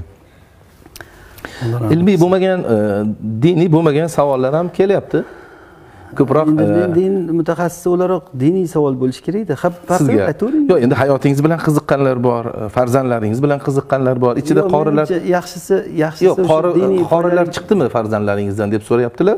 Aytdimu farzandlarimni aqli tanigani qori hammasi ha hammasi qori. Yaxshi. aqli tonigan. hayotimda qani edi mana shunday ishni qilmaganimda deydigan holatga tushganmisiz? E, shunday mana shu ishni qilmaganimda koshki edi degan bo'lganmisiz? Yana yoshlarga nimani tavsiya qilgan bo'lardingiz degan savol bor ekan. Bu narsa hayotimda juda yam ko'p bo'lgan. Koshki edi qilmasam? Rasululloh aytganlaridek "Law istaqbaltu minal amri mastadbartu. Agar men yana qaytadan ish boshlaganimda edi mana bunday qilardim degan joylari bo'lgan rasulullohni meni hayotimda juda yam ko'p bo'lgan. Shulardan eng katta ya'ni nima qilganim e, ko'p umrimizni zoya o'tkazganim ya'ni zoyi ya'ni o'qimay ta'lim olmay o'tkazib yuborgan vaqtlarimizga odam ichi achiydi.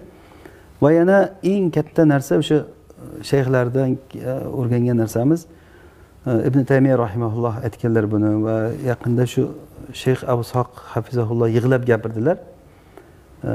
Umrini qur'onni tadabburiga sarflamaganligiga. Bo'lmasa ibn taymiya rahimaulloh qancha fatvo berganlar qancha islomni tarqatishda qancha jihod qilganlar u kishi. Lekin shu bilan birga umrini oxirida qur'on tadabburiga umrimni sarflamabman ekan degan. Meni agar o'sha ko'proq o'sha nima bo'lsa yana e, o'tkazgan nimalarimizdan shu qur'on tadabburiga vaqtimizni sarflamabman ekan degan xayol keladi odamga haqiqatdan. Rahmat sizga. Alloh tavfiq bersin. Tolibon haqida savol bo'libdi haqiqiy e, o'shani e, islomiy amirlik deb bilasizmi debdi. Istamasangiz javob bermang endi buni ular to'g'risidagi unaqangi narsalarni o'zini mutaxassislari o'zini odamlari gapirsa yaxshiroq menimcha. Ha. Xo'sh yana so'rabdilar. O'zbekiston ham ya'ni e, siz ko'rgan davlatlarda endi e, din dunyo rivojlangan davlatlarni ko'rdingiz. Mana turkiyada ham din ham dunyo ham. Demoqchimanki ilm fan e, insonlarni yashash sharoitlari yuksak bu yerda. Hmm. o'zbekistonda ham xuddi mana shunday bo'lib ketishi uchun ham dunyoviy ham diniy chiroyli bir rivojlanishi uchun sizda qanday e, takliflaringiz bor qanday fikrlaringiz bor va qanday takliflar bera olasiz debdi akrom ibodullayev degan muxlisimiz. Barakallohu fik. Juda yaxshi savol bu. Ya'ni o'zbekistonda holatini hozir men masalan men alhamdulillah mana saudiya davlatini ko'rdik misrni ko'rdik. Umuman islom diyorlarida hammasidan xabardormiz. E, hozir o'zi dunyo o'zi hammamiz uchun men ko'rdim demayman hammamiz ko'rib turibmiz hozir. Dunyo bir qishloq bo'lib qoldi hozir. Ulamolar aytgandek dunyo bitta qishloq bo'lib qoldi. Mana shu diyor masalan turkiyada hozir mana yashab turibmiz turkiyadagi masjiddagi yoshlarni holatini ko'ryapmiz. Ya'ni men mubolag'a emas bu narsani juda ko'p aytaman. Dunyo bo'yicha o'zbekistonday joyni ko'rmadim hozirgi kunda. Yoshlarni holatidagi bizni xalqimizda tozalik bor soflik musaffolik bor. Haqiqatda bizni bolalar yoshlar amal qilaman deydigan masalan mana masjiddagi yomg'ir yog'ib turibdi. Shunaqangi yomg'irda turib namoz o'qiyapti bolalar. Tarobeh namozlarini ko'ring. Siz buni ichida yuribsiz masalan. Albatta. Masjidlar yoshlar bilan to'la. Mana masjidga kiringda umumiy umumiy yoshni siz qarasangiz bizni e, masalan o'zbekistonda yoshlarni yoshi nechiga to'g'ri keladi desangiz yigirma besh yoshdir masalan o'ttiz yoshdir o'rtacha. Bizdan kattalar bir safni tashkil qilsa qolgan to'rt besh saf yoshlar yoshlar yoshlar. Albatta. Turkiyada men bunday e, o'lchayman ellik beshlar yoshlar deb o'ylayman. O'rtachasi. O'rtachasini bizda undan ancha yosh. misrda ham bundan ko'ra kichikroq. Ya'ni saudiya ham shunday. Lekin keksalar ko'proq. keksalar ko'p yo yoshlar ko'p namozga kelmaydi. Lekin bizdagi e, holatda qarasangiz bizda haqiqatda ham yoshlarda iqbol juda katta. Nima uchun bu? Nima uchun shunday degan narsa bu ollohni qadari bilan e, men bu haqida aynan bir to'liq bir muhozara bir e, majlis dars qilganman shu mavzu bo'yicha. Ya'ni albatta o'zimni fikrim va ko'z qarashimdan kelib chiqqan narsa bu mana shu o'rislarni kirib kelib bizni diyorimizdagi qilgan ishlari bu fojialar va shuncha katta qiyinchiliklar fojialarni orqasidagi ollohni lutfi deb bilaman men buni. Alloh taoloni lutfi bizda musaffolik bo'ldi. Bizni xalqimiz qarang nasoralashib ketmadi. Ha. Bizni xalqimiz o'rislashib ketmadi. Shunday. Shiyalashib ketmadi. Fitratda turgan sog'lom joy bo'ldida. Rashid rizoni bir e, nimalari bor ekan e, bir ilmiy risolalari al islahu val isadu ala hasbil istihdad. Deb ya'ni insonlardagi xalqdagi qabul qilish darajasiga ko'ra odamlarni tarbiyalash mumkin bo'ladi. Agarda shab mustaid bo'lgan qabul qiluvchi xalq bo'lmasa gapiruvchi payg'ambar bo'lsa ham farq qilmas ekan. Bizni xalqimiz imomlarni yerda yurg'izishga qo'ymaydi. Imomlarni ishlatishga qo'ymaydi. Imomlar doim to'rda. Qachon borsa imomni to'rga o'tib bunaqa xalqni boshqa joyda ko'rmaysiz. Bizni xalqimiz shunchalik bunaqa imomni ham boshqa joyda ko'rmaysiz. yo'q haqiqatda lekin yo o'zi arziydi imom ular halol haromdan gapiradi ollohni tanittiradi. Ilm bilganda ular. shunday o'sha xalq shu keragidan oshiqcha hurmat qilib yuboradi bizni xalqimizda. Shunday. Nima uchun xalq shunchalik tashnaki? Sen gapir deydi. Imomni janozaga borsa ham imomga so'z beradi to'yga borsa ham imomga so'z beradi. Qayerda bo'lsa imomni gapi gapda hamma joyda nima uchun shu dindan gapirib shu bizni din peshvomiz deb biladi odamlar bunida. Mana shu jihatdan qaraganda bizni xalqimizda musaffolik tozalik bor. Ana shu uchun masalan qaysi bir oqim kirsa tez rivojlanib ketib qolyapti bizda. Oqim kirsa nima uchun deganda o'sha filtr yo'q odamlarda e, yoshlardagi filtr yo'q bo'lganligi uchun. E, lekin o'z navbatida fitrat jihatdan qaraganda toza xalq. Haqiqatda hozirgi kundagi holati bizni xalqimizni holati yoshlar ayniqsa toza xalq bular. Xudoga Shuning shukr, uchun shu alhamdulillah siz buni bu narsa- bizni yoshlarimiz haqida shunday iliq fikrda ekansiz xursand bo'ldim. Yo'q albatta men buni juda ko'p ichida aytganman. yurib unchalik Ha. fikrda emasmanda. Yo'q siz buni ko'ring masalan mana misrga boring saudiyaga boring boshqa joyga boring. Boshqa jihatlari masalan ulamolarni ko'pligi jihatdan aytmayapman masalan ulamolarni ko'pligi masalan misr ulamolar makoni. Saudiyada ulamolar makoni. Lekin xalqi jihatdan qarasangiz xalqdagi bir ehtiromga qarasangiz bizni xalqimizdagi muhabbatni boshqa joyda topolmaysiz. Bu tomondan siz haqsiz. Bu tomondan nima haqsiz. uchun bizni domlalar e, ishlamaydi? Chunki xalq ishlatgani qo'ymaydi ularni. Boshida ko'taradi. Ko'taradi boshida. Haqiqatdan boshida ko'taradida ya'ni bu deganiki xalqimiz shunchalik. Endi masalan hozir savolni ikkinchi yarmida Yoshlarga e, qanday yoshlarga tavsiyalar qanday tavsiyalar bergan ber- bo'lardingiz? berasiz? Va yana o'zbekistonda dunyo oxirati uchun nima foydali deb o'ylaysiz bu narsa uchun men bitta narsani aytmoqchi edim. Ozroq gapimiz nima bo'lsa ham tezroq gapirishga harakat qilaman. Hozirgi kunda masalan e, inson birinchi o'rinda o'sha baxtli saodatli yashashni hammamiz xohlaymiz. To'g'rimi? Baxtli Albatta. maqsadimiz shu o'zi. Dunyoda baxtli bo'laylik oxiratda yashaylik. Ha, to'q yashaylik yaxshi tinch yashaylik nafaqat to'q. Ya'ni baxtli saodatlik ichiga kirib ketadi. Shunday. faqat to'qlik emas buni ichiga. Ba- ba'zan to'qlik sho'xlik bo'lib ketib qolishi mumkin. Ya'ni baxtli bo'laylik. Baxtli saodatli bo'laylik dunyoda ham oxiratda ham la- yadillu va la yashqo dunyoda adashmaydi oxiratda baxtsiz bo'lmaydi.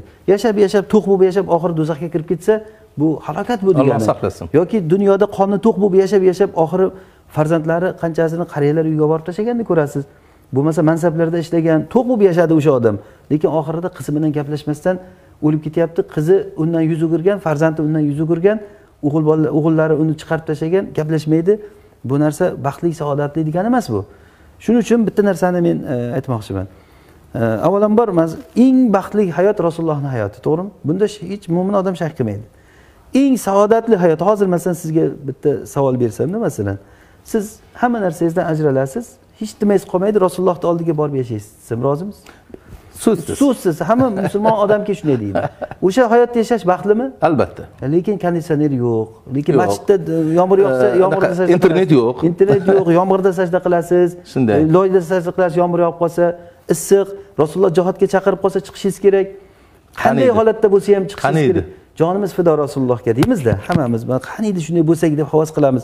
O'sha hayot zamoni saodat deb eslaymiz hammamizni u paytda o'sha ayni paytda rasululloh madinada mana shunday sharoitda yashab och bo'lib qornilariga tosh baylab yurgan paytida rumni xalqi to'q bo'lib Shunday. fors imperiya ular. Shunday. ular juda ham to'q ularda sivilizatsiya bor edi.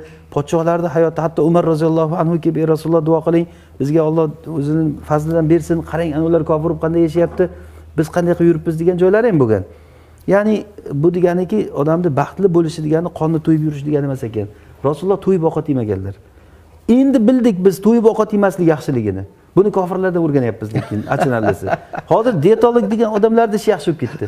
U nima qiladi? Siz ovqat yemaslikni o'rgatadi. Shunday. musulmonlarga o'rgatyapti. Eng oshig'i olchi dietolog. ana shu o'shalar eng ishi rivojlangan odamlar o'shalar bo'lib qoldi. Dietologlar bo'lib qoldi. Shunday. demak eng komil hayot qonni to'ymaslik ekan aslida.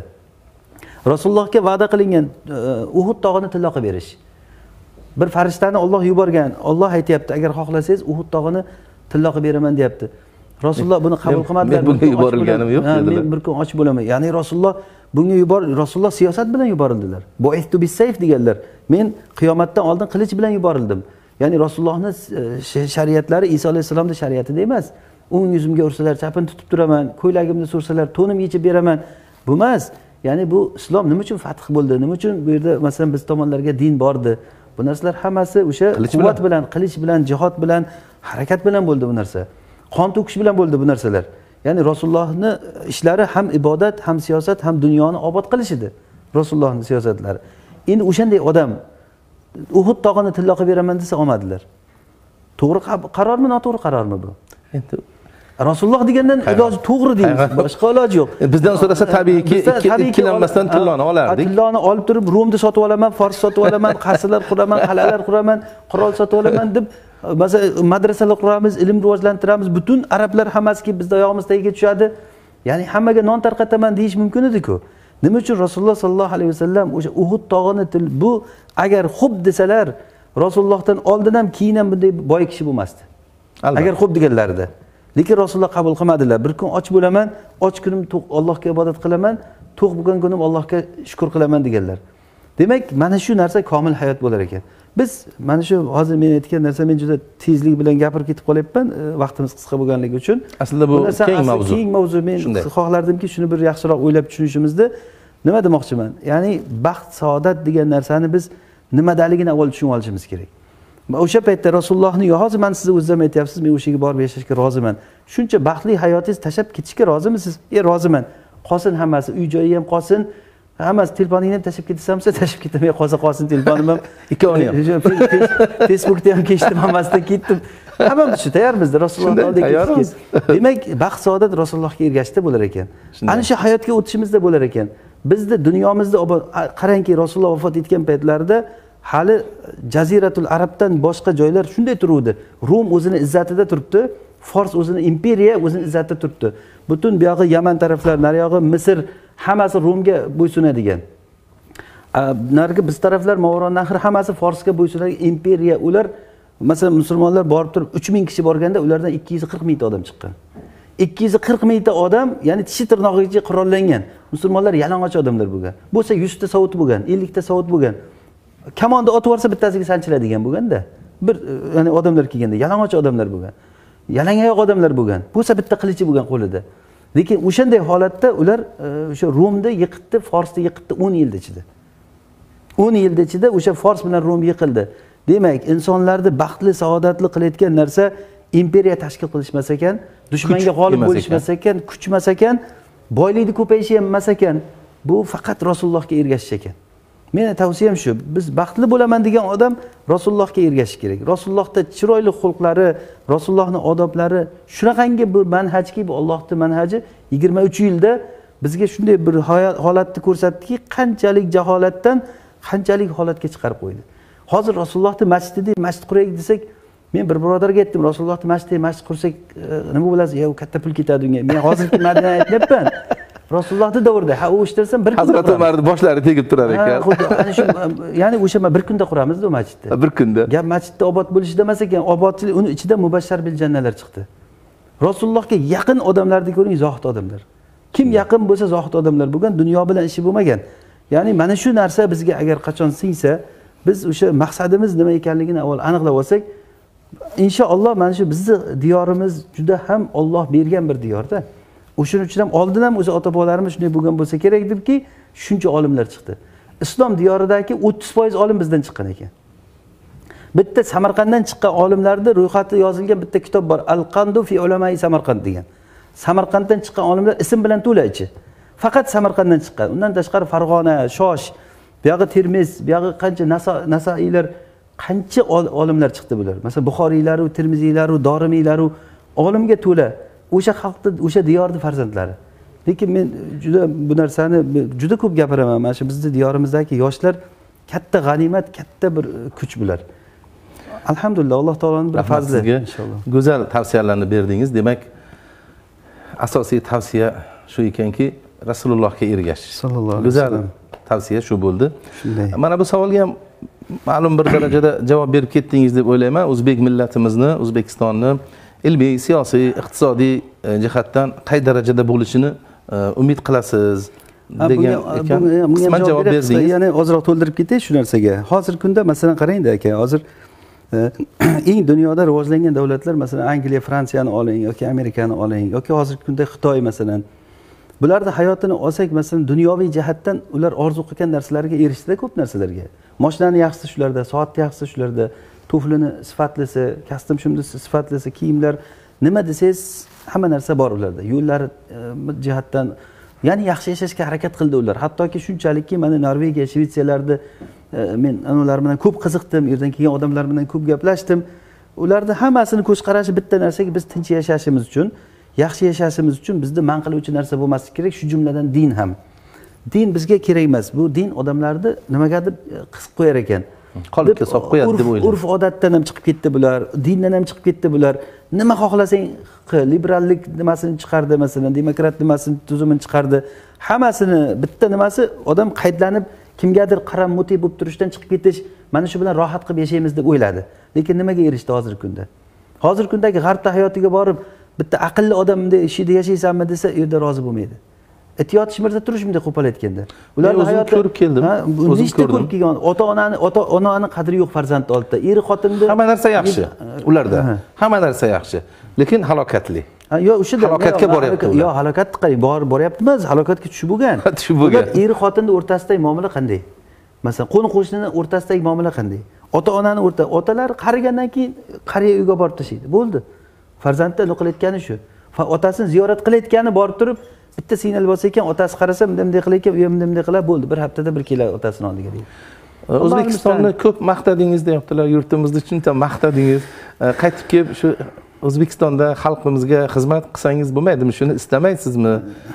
O'zingiz tug'ilib o'sgan joylarni sog'inmaysizmi degan savol bo'libdi kelsin kelsin gapirsin shu yerda deydiku. Chekkada turib gapirish hammaga ham oson deb shunaqa. Sog'inasizmi? Yo albatta albatta endi narsa- hozirgi gaplaringizdan bilinib turibdi sog'inchingiz bor. lekin qaytib borib e, xizmat qilish o'zi asli xizmat qilish bizni orzuyimiz e, deyishdan tashqari bu vojib. Bizni xalqimizga masalan o'zimiz bilgan narsani o'qigan o'rgangan narsamizni ularga yetkazish albatta hikmat bilan tushuntirish vojib bo'lgan narsa. Men olloh Sizni vazifangiz. olloh shohidki masalan bu gapirayotgan gapimda hech birorta bir masalan hozirgacha aytgan gaplarimda ya'ni o'zbekistonga bir borib olish uchun e, gapirgan narsamiz ham yo'q. Ya'ni bu yo'lga chiqqan odam o'zi kafanini ko'tarib chiqqan bo'ladi. Ya'ni payg'ambarlarni yo'li bu deb qabul qilganmiz. Nimani haq deb o'ylasam o'shani gapiraman. Bu yerda bir nifoq yo boshqa narsa aralashtirmasdan. Nimani haq deb o'ylasam? Nimani nohaq deb o'ylasam unga men inkor qilaman. Ya'ni meni maqsadimiz shu isloh qilish. Agarda borish imkoniyati bo'lsa nimaga bormaymiz yerga borib nima qilishni? Lekin hozir borib turib e, erga bir da'vat qila olamanmi men o'sha savol e, bergan kishiga? Mana shu gaplarimni gapira olamanmi men borib masalan? Ha gapira olasiz desa bo'ldi boramiz inshaalloh. Menimcha borib gapira olsangiz kerak. Ha bo'ldi men ekan muammo yo'q men qidirib sizni topganimdek hamma qidirganlar sizni topsa e, va nima uchun qidirayotganini aytsa. Ular ham bir orani ochiqlab olsa nima uchun qidirilayotganingizni siz bilmaysiz. Yo bilasizmi? Bu yerda savol bo'libdi nima uchun qidirilyapti ekan? U kishi qidiruvda ekan. Uni qidirayotganlardan so'rash kerak. Ha uni qidirayotganlardan so'rash. Nima qidiryapsizlar deyish kerak men masalan nima uchun qidirganimni bilaman. Nima maqsadda kelganimni ham aytdim siz bilan. Yuzma yuz bir savol javob qilib muxlislarimizni savollariga javob olib bermoqchi bo'ldim. Va e, o'quvchilarimizga ham aytmoqchiman Э, sodiq samarqandiy deganda ayrimlarni chayon chaqqanday sakrab tushadi. Men suhbat qilaman deganimdan keyin juda ko'p judayam ko'p menga murojaatlar bo'ldi. Messenjerga yozishdilar telegramimga telefon qilib aytdilarki bormang u kishi terrorchi u kishi ekstremist u bu deb aytdilar. Э, lekin juda ko'p odamlar albatta э, yaxshi tanimaydilar yaqindan tanimaydilar. Maqsadimiz shu ediki sodiqjonni yaqindan ko'rsatish. Mana ko'rsatdik. O'ylaymanki e, manfaatli bo'ldi. Inshaalloh bir ikki uch kundan beri bitta yigit judayam asabimga tegdi. Farhod dadajonov degan. Siz meni asabimga tegdingiz. Men sizni qora ro'yxatga tiqib qo'ydim. O'rischa qilib o'rganganmiz bizlar. Zablokировать qildim. Lekin sizni sodiqjonga bergan savolingizni men mardmanda meni asabimga tekkan odamni ham savolini beraman. Siz aytdingiz menga aniq adashgan deyapti. Sodiqjonni aniq adashgan deyapti. Hech qanaqa olim emas va eng yomoni ahli sunnaga qarshi fitnachi. E, hamda bu karimberdi to'ramurodni sodiq samarqandiy biladigan bilan bo'ladigan suhbati musulmonlarga hech qanday manfaat yo'q bu suhbatda. Qaytanga bu suhbat butun musulmon ummati uchun zararli bo'ladi dedingiz. Shu suhbat zararli bo'ldi deb o'ylaysizmi siz? Endi Men u- o'zi- o'zini- u odamni xulqi boshqasi mayli. bu savolni o'zi aytish o'zi bir qanday o'rinli? Masalan boshqa biz foydaliroq tomoniga qarayotgan bo'lsak menimcha tomoshabinlarimiz Ha, uchun manfaatli bo'ldi. Aynan shu. Men shuni aytmoqchi edimki o'sha hozir bu oyatda aytilgandayda siz- odam har narsani da'vo qilaveradi. Men birinchidan olimlikni da'vo qilgan odam emasman tolib ilmmiz haligacha tolib ilmlikda alhamdulillah davom etyapmiz inshaalloh. Oldimizga qo'ygan maqsadlarimiz katta inshaalloh. O'qishimiz kerak bo'lgan narsalar juda ham ko'p. Umr e, ya'ni juda ham qisqa ekan ilm juda keng.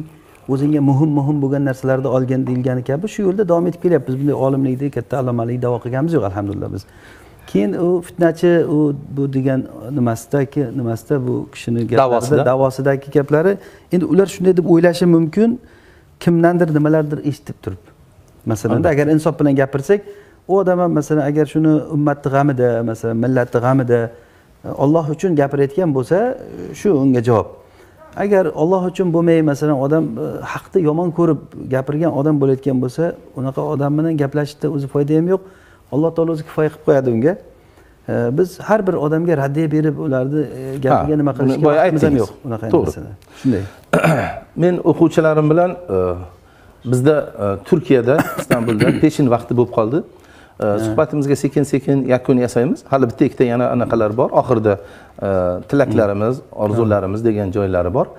Bu bilan azon aytilib qoladi ungacha. Azon aytilishi bilan biz suhbatimizga yakun yasaymiz bu e, qaytarib aytaman. Bu suhbatimiz bu savol javobimiz meni muxlislarim uchun karimberdi to'ramurodni e, ijtimoiy tarmoqlarda kuzatadigan meni do'stlarim meni muxlislarim uchun. Sodiqjon samarqandiyni qidirib yurganlar uchun topolmay yurganlar uchun axtarib yurganlar uchun. Boring ana suratini yopishtirib qo'yib mana odam qidirilmoqda. Qidirilmoqda deb e'lon bergan odam topolmayapmiz degani bo'ladida. Ana o'shalarga yordam berish uchun bu ko'rsatuvni qildim bu suhbatni qildim. Mana qidirgan odamlaringiz bemalol ofisda o'tiribdi katta binoda istanbulda bashaq shahar degan joyda qoya shahar ha aniq manzili. Manzillarni yozib qo'yamiz tagiga hozir. Telefonlari bilan sodiqjonni shaxsan telefonlari bilan yozamiz. Yana boya aytganimdek lokatsiya deymiz ya'ni qo'nimlarini ham tashlab qo'yamiz. Bunda bossangiz turgan joyini aniq ko'rsatadi. Mana shu maqsadda qildik bu suhbatni va o'ylaymanki e, dadajonovlar aytganidek zararli bo'lmadi bu suhbat va hech qanday zarar ko'rmayman bu suhbatdan. Meni ogohlantirganlar ham karimberdi to'ramurod bormang ko'rishmang kelganingizda anov anavi bo'ladi mana men qo'rqib qo'rqib oltmish birga kirdim bo'ldida endi. Men yuzga kirgunimcha qo'rqib yashamaymanku. Istagan odamimni ko'rishga istagan odam bilan e, suhbatlashishga haqqim bor. Qolaversa o'zbekiston inson huquqlari xalqaro deklaratsiyasiga qo'l qo'ygan. U yerda yozib qo'yilibdi inson o'zi istagan odam bilan ko'rish informatsiya olish saqlash tarqatish huquqiga ega. Men bugun sodiqjon samarqandiy bilan suhbat qildim.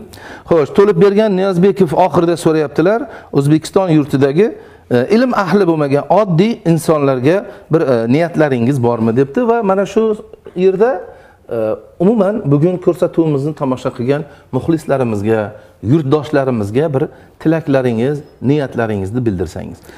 Lekin bu oxirgi savol emas yana bitta savolimiz bor. bemalol inshaalloh nima bo'lsa umuman olganda bizni niyatimiz hammamizniki ham o'zi e, xuddiki payg'ambarlar aytgandek in uridu illal islaha mastatot biz qo'limizdan kelgancha islohni xohlaymiz. E, ya'ni ummatim bizni ummat islom ummati butun dunyodagi islom ummati ommatan ya'ni xossatan bizni diyorimiz o'zbek zabonida gapirayotgan xalqimiz ravnaq topishini ularni rasululloh sollallohu alayhi vasallam sunnatlariga ergashib hayotda baxtli bo'lib yashashlarini xohlaymiz. O'sha uchun ham bizni o'zi qilayotgan harakatimiz ham ertayu kech qilayotgan darslarimiz ham hammasi shu narsaga qaratilgan. Ya'ni bu narsa odamlar haqni tushunsin biz bilgan narsalarni odamlar ham bilsin. E, ya'ni bu dunyoda baxt erishsin oxiratda jannatga kirsin. Qaniydi endi alloh taolo shunchalik bir o'sha yurtimizdan oldingidek bir katta katta zabardast olimlar chiqarsa inshaalloh chiqadi degan umiddamiz. Chunki bizni diyorimiz o'zi oldin ham oldindan ham bir ulamo chiqaradigan bir fabrikaga o'xshagan diyor bo'lgan. Inshaalloh bu e, haligi e, ya'ni oldingi oqqan suvlar yana o'sha diyorimizdan oqadi degan umiddamiz inshaalloh niyatimiz shu. Maqsadimiz shu e, rasululloh sollallohu alayhi vasallamni sunnatlariga ergashish din islomni odamlar tanisin va baxtli bo'lib yashasin. Va shuni aytmoqchimanki islom dinidan odamlar qo'rqmaslik kerak. Bu yerda sharqshunoslar juda ham katta ishlar qilganda sharqshunoslar dinni odamlarga yomon ko'rsatib bu islom bunaqa islom bunaqa hatto shu darajagacha bordiki ayolni huquqi islomda berilmagan ayolni qaro chimmatga tiqib qo'yadi paranjiga tiqib qo'yadi deb e, ayollarni paranjida yurishini ayollarni ro'mol o'rab yurishini qoralab o'sha narsaga butun tishi tirnog'i bilan qarshi bo'lish suyagiga singib qoldi qaysidir bir odamlarni bu narsa asosan buni o'sha sharqshunoslik e, nimalarida o'qishlar tashkil qilinib ular fundamentalni uzoq yillarda yillardir e, o'sha odamlarni islomdan uzoqlashtirish e, nimasida tarbiyalangan odamlar ular. Va oyatlarga shubha chiqarish hadislarga dinga shubha chiqarish. Shu jumladan masalan misol uchun man ayolni huquqiga olasizmi? Yoki boshqa bir shariatdagi haligi odamlarni ko'ziga yomon ko'rsatib E, mavzularni ko'tarib biz qachon shu islomni tashlasak o'shanda baxtli bo'lamiz degan tushunchaga kelib qolindi. Men xohlardimki odamlarda mana shu tushunchalar ketsa-da islomni nima ekanligini sof islomda odamlar tushunsa. Bu hayot qisqagina hayot e, ya'ni odam hayotini yashab o'tib ketadi man oltmish birga kirdim dedingiz alloh umringizni uzoq qilsin alloh foydali umr bersin. Sizga ham hammamizga ham inshaalloh bu hayot hammadan o'tib ketadi. Amal qilsak ham amal qilmasak ham nima qilsak ham o'tib ketadi. Umr belgilangan rizqlar o'lchangan. Qo'rqoqlik hech qachon e, umrni uzoq qilmaydi yoki jasorat umrni qisqa qilib qo'ymaydi. Bizni rizq emas rizqimiz emas bo'lgan narsani harom bilan qilsak ham kelmaydi. Rizqimiz bo'lgan narsani agar og'zimizni ochib o'tirsak ham ketib qolmaydi. Alloh subhanahu va taolo o'zi robbil alamin boshqaryapti. Yana bitta narsa qoladiki biz hammamiz o'zimiz amal qilib allohga o'zimizni ko'rsataylik. Va qul amalu amal qilinglar olloh va rasuli va mo'minlar sizlarni ko'radi degan va oxirgi gapim va qul fantaziru inna muntazirun ya'ni kutinglar bizlar ham kutamiz deyglar degan. Ya'ni bu nimani kutinglar oxiratni kutinglar o'limni kutinglar qancha qancha odamlar o'lib ketdi. Qancha qancha yaxshi odamlar ham ketdi yomon odamlar ham ketdi qancha do'stlarimiz o'lib ketyapti. Har kuni o'lim borda yaxshi ko'rgan odamlarimiz. Ya'ni buxoriy rahimaullohni bir gaplari bor. Shayxi dorimiy o'lgan paytda bir yil oldin o'lgan buxoriydan. U ham dorimiy nimada? Samarqandda shayxlari bo'lgan buxoriyni. Ustozlari bo'lgan ha ustozlari. O'sha kishi o'lganda bir gapni aytganlarida innaka intaish tafjaul ahibbata kullahum va mautu nafsika la abalaka afjau. Agar sen yashasang yaxshi ko'rgan odamlaringni hammasini fojiasini eshitaverar ekansan lekin o'zingni o'liming hammasidan fojiali bo'ladi degan. Ya'ni insonni o'limi bu fojia degani inson shu qabrga borgandan keyin odam orqaga qaytish degan narsa bo'lmaydi. Shuning uchun ham odam o'zini o'zi yig'ishtirib olishi kerak. Har bir odam o'lmasdan o'zini o'lmasdan oldin o'zini o'zi yig'ishtirib olishi kerak. Bu facebook deysizmi bunaqangi ijtimoiy tarmoq boshqa bu narsalar hammasi qolib ketayotgan narsalar. Biz uchun ollohni oldiga qabrga siz bilan nima borsa o'sha o'sha kun uchun tayyorlanish kerak odam.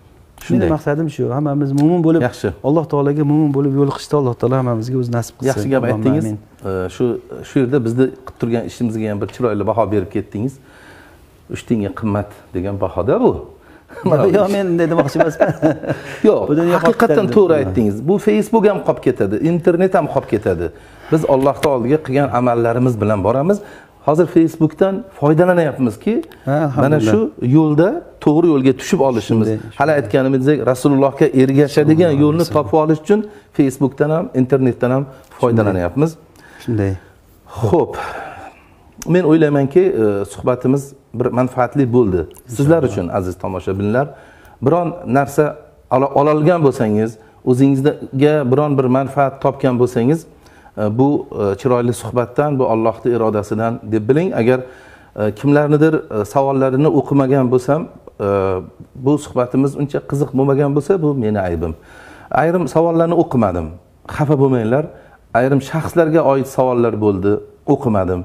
Bilyard haqida savol bo'ldi o'qimadim. Narda shaxmat shashka soqol ro'mol ikkinchi xotin degan savollarni o'qimadim. Bu narsalar u bizda qiziq. Tortishish bizda o'zi trendga chiqqan narsalar u. Ilon mask deganlar marsga marsga uchib yurganda biznikilar haliyam ro'mol soqol e, ikkinchi xotin. Endi bu narsalarni fatvosi bir yarim ming yil oldin berilgan. Bahslashmanglar. Sodiqjondan so'raydigan savollar emas edi ular. Shuning uchun men u mayda chuyda savollarni o'qimadim va bu bilan sizlarni xafa qilgan bo'lsam uzr so'rayman. Yana e, ko'p savollarni o'qidiku muallifini o'qimadik. Bu yerda yozilgan muallifi kim kirib ko'rsa u muallif kimlar u savolni berganligi bor. Bizga hozir savolni bergan odamlarni kimligi emas savollarga beriladigan javoblar muhim bo'lgani uchun savollarni o'qidik. Kimlarni savollarini o'qimagan bo'lsak uzr so'raymiz. Bizni tomosha qilish uchun sarflagan roppa rosa ikki soat vaqtlaringga rozi bo'linglar. Alloh rozi bo'lsin. Xo'sh oxirida hali bu oxiri emas deganim. Xo'sh atir upa sotadigan do'konga borsang atir olib qaytasan. Kiyim kechak sotiladigan bozorga borsang kiyim kechak olasan. Sabzavot do'koniga borsang sabzavot olasan. Olimni huzuriga kelgandan keyin biror narsa olib qaytish kerak deb chiroyli taklif qilibdilar. Kimligini ham aytaman. Aytibdilarki abdulahad ahmadjonov aytyaptilar suhbatni e, olim deb tan olib biz olim deb ergashib olim deb tinglab tomosha qildik. E, sodiq samarqandiy bir chiroyli hadis bilan yakunlab bersinlar debdilar. Bir hadisni aytib ozgina sharhi bilan keyin bitta duo qilib bersangiz. Inshaalloh. Alloh rozi bo'lsin aka sizdan ham. Alloh taolo o'zi manfaatli qilsin. Inshaalloh bu e, suhbat haqiqatdan vaqt o'tib ketib qolganini men sezmay qolibman Ha, ikki soat bo'ldi. E, ya'ni men aytmoqchi bo'lgan narsam hadisda rasululloh sollallohu alayhi vasallam aytadilarki ihris ala ma yanfa'uka billahi va la ta'jiz o'zingga foydali bo'lgan narsaga haris bo'lgin deganlar. Ya'ni bu narsani men o'ylardimki agar biz hayotimizni qonuniy qilib olsak juda katta foydaga erishamiz. Yoshlarga ham shuni o'rgatish kerak. Nimani foydali deb manfaatli- nimani bilsang- foydali dunyoing va oxirating uchun. Foydali deb bilsang- sport siz uchun foydalimi? Qiling. Sog'ligingiz uchun sport qiling. Masalan va ovqatlaning uxlang.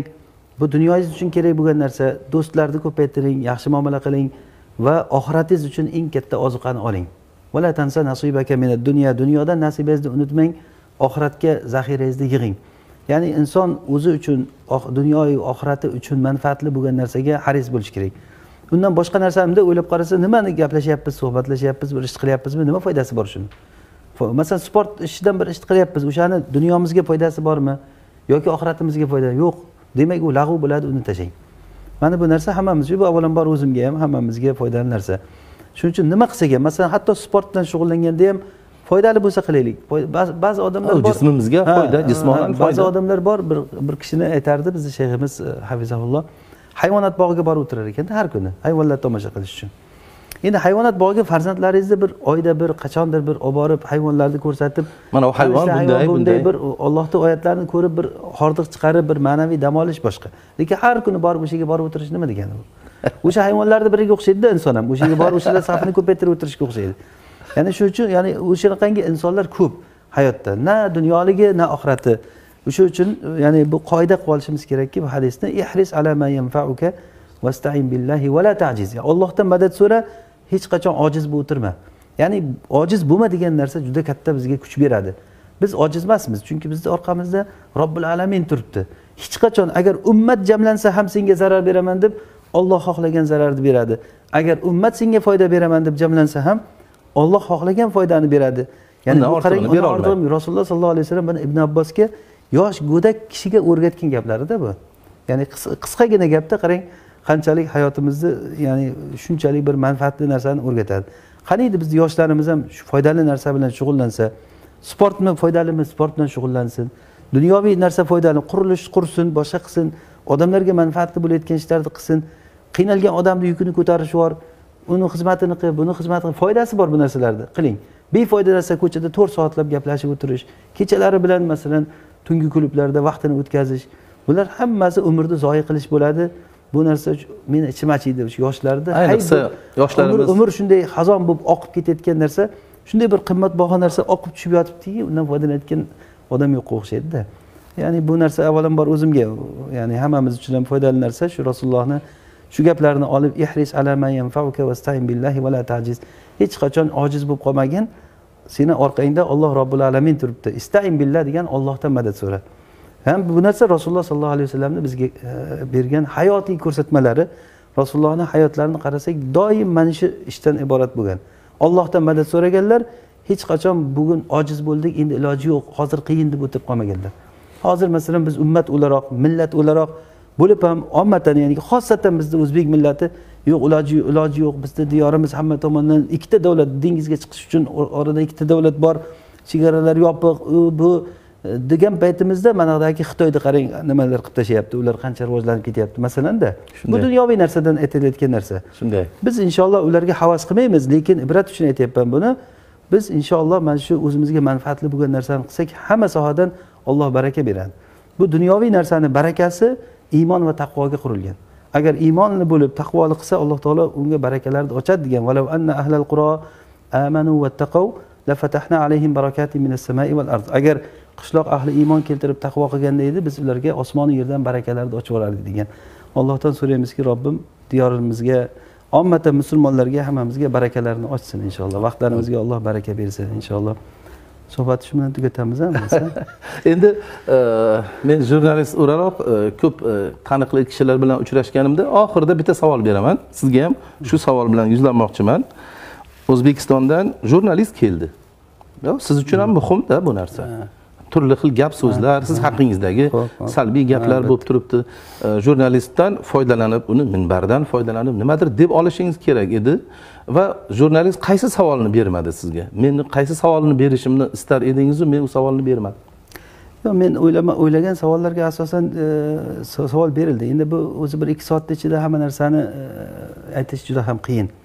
E, ba'zi sahobalar kelib rasulullohni oldiga kelib turib ey rasululloh shariat amallari bizga juda ko'payib ketdi. Hozir so'rayman desangiz muhim narsalar juda yam ko'p masalan uni qaysi birini so'raysiz? Masalan bu ikki soatda narsaga ulgurmaymiz o'zi men bilmay qoldim qanday qilib o'tkazganmiz bu vaqtni ham. Shariat amallari bizga ko'payib ketdi. Menga bitta narsani ayting dunyoyimda ham oxiratda ham men uchun manfaatli bo'lsin degan. Bitta gap ayting deganda rasululloh aytganlarki qul amantu billahi thumma istaqim. Iymon keltirdim dedi keyin istiqomatda tur dedilar.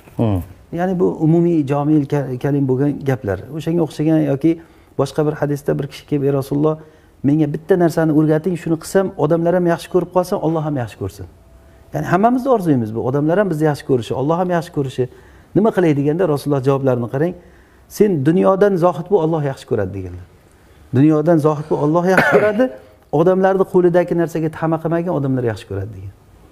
Mana bu narsalar ya'ni hammamiz uchun manfaatli bo'lgan e, o'gitlar. E, ya'ni bitta majlisda masalan mana uni aytmadingiz deyish qiyin. Siz hozir savollaringiz haqiqatdan juda ham yaxshi bir keng qamrovli bo'ldi deb o'ylayman. Fiqhga ham kirib chiqdik aqidaga ham kirdik manhajga ham kirdik. Hamma joyga borib keldik menimcha. Sizga rahmat. Salomat bo'ling. taklifimga yo'q demaganingiz uchun e, suhbat uchun savollarga hech qaysi savolga yo'q mana bu savolga javob bermayman demaganingiz uchun rahmat. Hozir endi azon aytilib qoladi. Shu bilan ha aytgancha. Kitoblar yozaman. Meni yozuvchi sifatida siz bilasizmi yo'qmi? O'zim maqtab qo'yay. Bir emas ikki emas yigirma beshta kitobim chiqdi. Mana bunisini sizga sovg'a qilmoqchi edim. Bu kitob e, shayx hazratimizni e, nashriyotlarida chop qilingan e, qadr kechasi degan kitobimni ikkinchi qismi sirli kecha. Shayx hazrat shayx muhammad sodiq muhammad yusuf hazrat buni o'qib yaxshi hikoyalar ekan deb keyin ikki ming sakkizinchi yil adashmasam toshkent islom madaniyat poytaxti deb e'lon qilinganda bu kishi tanlov e'lon qiluvdilar E, islomiy hikoyalar she'rlar tanlovini o'sha hikoyalarni qo'ygan edim va u kishi e, menga g'oliblikni berib o'sha qur'onni olti tomligini hadya qilgan edilar E, buni sizga dastxati bilan sizga sovg'a qilaman. Alloh alloh bo'lsin. rozi Rahmat. bo'lsin. E, keyin e, ana shogirdlaringiz aytishdiki e, odatda dunyoviy kitoblar yozamiz biz dunyoviy hikoyalar yozamiz. Badiiy adabiyot degani bu hammasi to'qilgan narsalar degani. Bunaqa narsalar o'qimasalaring kerak desam yo'q biz sizni kitoblaringizni o'qiymiz dedilar. Va meni e, mana shu kitobim bilan bular yaxshi tanish ekan. Bu anchagina e, shov shuv bo'lgan kitobim qora kitob. Bu urush haqidagi hikoyalar jamlangan. Bu ikkinchi jahon urushi va afg'on urushida ishtirok qilgan ukalarimiz do'stlarimiz e, haqidagi hikoyalar jamlangan. Shuning uchun bu kitobni qora kitob deganman. Zora e, zotan e, urushdan faqat kulfat keladi qayg'u keladi motam keladi. Motamni rangi qora bo'lgani uchun buni qora kitob deganman. Buni ham sizga va yigitlaringizga sovg'a qilaman. alloh rozi bo'lsin aka. Vaqt topib o'qiysiz degan umiddaman. Inshaalloh albatta albatta o'qiymiz inshaalloh. Alloh- bizni ham kitoblarimiz bor ekan a mahmud berchi biz ixlos orgdan tarjima qilingan va ta'lif qilingan kitoblarimiz aka bu oxiri sovg'a salom almashish bilan yakunlanyapti aziz tomoshabinlar. Va albatta endi e, ko'pchilikka manfaatli bo'lsa sizga inshaalloh e, xosatan mana bu e, shayx mustafa adaviy hazratlarini kitoblari bemor do'stimga maktub. Maktub. Mana bu bol- bolajonlarga tavhid nimalari vabodan saqlanish uchun o'nta maslahat. Bu hozirgi kunda bu kerak juda narsa. zarur. bu. Vaboni bir ko'rinishi qurib ketsin koronavirus. o'shandan saqlanishga o'n maslahat ekan. Shunday, keyin buni saytlarimizda sahifalarimizda beramiz xudo kitoblar xohlasa. hammasi shu ixlos orgida chiqarilgan kitoblar bular ustozlarimiz tarjima qilgan. Demak sizlar kitob chop qilish bilan ham Ha, shug'ullanyapsizlar albatta albatta. Ko'p kitoblarimiz bor fitr sadaqasi haqida. Keyin farzand tarbiyasiga oid o'nta qoida bu juda muhim. Juda yaxshi ekan. Farzand tarbiyasiga oid abdulkarim bakkor. Sizlar tarjima qildilar bu tarjima chop qilingan ekan tahorat tamomil e, tarjimalari bu shu ustozlarimizni tarjimalari juda yaxshi manfaatli inshaalloh fiqhga qiziqqan fiqh o'qimoqchi bo'lgan kishilarga. Keyin qiyomat alomatlari kitobi bu ham muhim qiyomatni alomatlari bu abdulloh ibn sulaymon e, g'ufayliyni kitoblari ekan. qiyomat alomatlari. Shu ko'pchilik aytadi mana bu alomatlar bo'lib qoldi mana bu alomatlar bo'lib qoldi deydi. E, buni nasib bo'lsa foydali inshaalloh har biri o'qilinsa shu eng muhim degan narsalarni tarjima qilib yozilganda endi bizda ham shu kitoblar tanlab tanlab nima qilinadi? Keyin tamomlanadi ro'za ahkomlari. Mana ramazon ham yaqinlashib qolyapti inshaalloh buni e, ro'za ahkomlari ekan ramazondan oldin buni e'lon qilamiz xudo xohlasa ro'za tutayotgan odam ro'zani fiqhini bir o'rganib chiqqani yaxshi bo'ladi keyin shayx mustafa adaviyni Ra- ramazon suhbatlari. Bu ham ramazonda juda qo'l keladigan suhbatlardan inshaalloh. Yaxshi. Keyin olloh suygan bandalar kamolxon akamiz nimalari? Kamoliddin aka tarjima qilganmilar buni vohid ibn abdusalom boliy mana. Ha, inshaalloh yaxshi. Demak ustozlarimiz alloh suygan bandalar buni ham Ha, tafsir muyassarman ismoil akam nimalari? Yaxshi bir buni ham ismoil aka tarjima qilganlar. Ha, shunday rahmat. Ikkita kitobimga salkam yigirmata kitob berdingiz. O'n baravar hozirda o'zida o'n baravar qaytdi. Alloh manfaatli qilsin sizga ham rahmat aka. Alloh rozi bo'lsin. Azon eshitilib qoldi. Bo'lmasa e, tinglovchilarimiz muxlislarimizni yurtdoshlarimizni haqqiga bir duo qilib qo'ying. Mayli ihdinas sirotal mustaqim sirotal ladina an'amta alayhim ghayril maghdubi alayhim valaddallin alloh subhanava taolo hammamizni o'zini toatida istiqomatida bardavom qilsin fitnalardan o'zi saqlasin. Dunyoda ham oxiratda ham yuzi yorug' bo'ladigan rasululloh sollallohu alayhi vasallamga yaqin bo'ladigan kishilardan qilsin inshaalloh. Robbim hammamizni firdavs jannatlarida nabiyinlar siddiqinlar shuhado va solihinlar bilan hammamizni birga qilsin. Allohimma amin. Va sallallohu ala sayyidina va nabiyina muhammad va ala alihi va ashabihi ajmain. Alamin. katta rahmat. Alloh rozi bo'lsin. Tomoshabinlarimiz ham xayrlashamiz. Ha, sog' bo'linglar. salomat bo'linglar. Karimberdi to'ramurod sizlar uchun maxsus istanbul shahridan. Inshaalloh tashakkur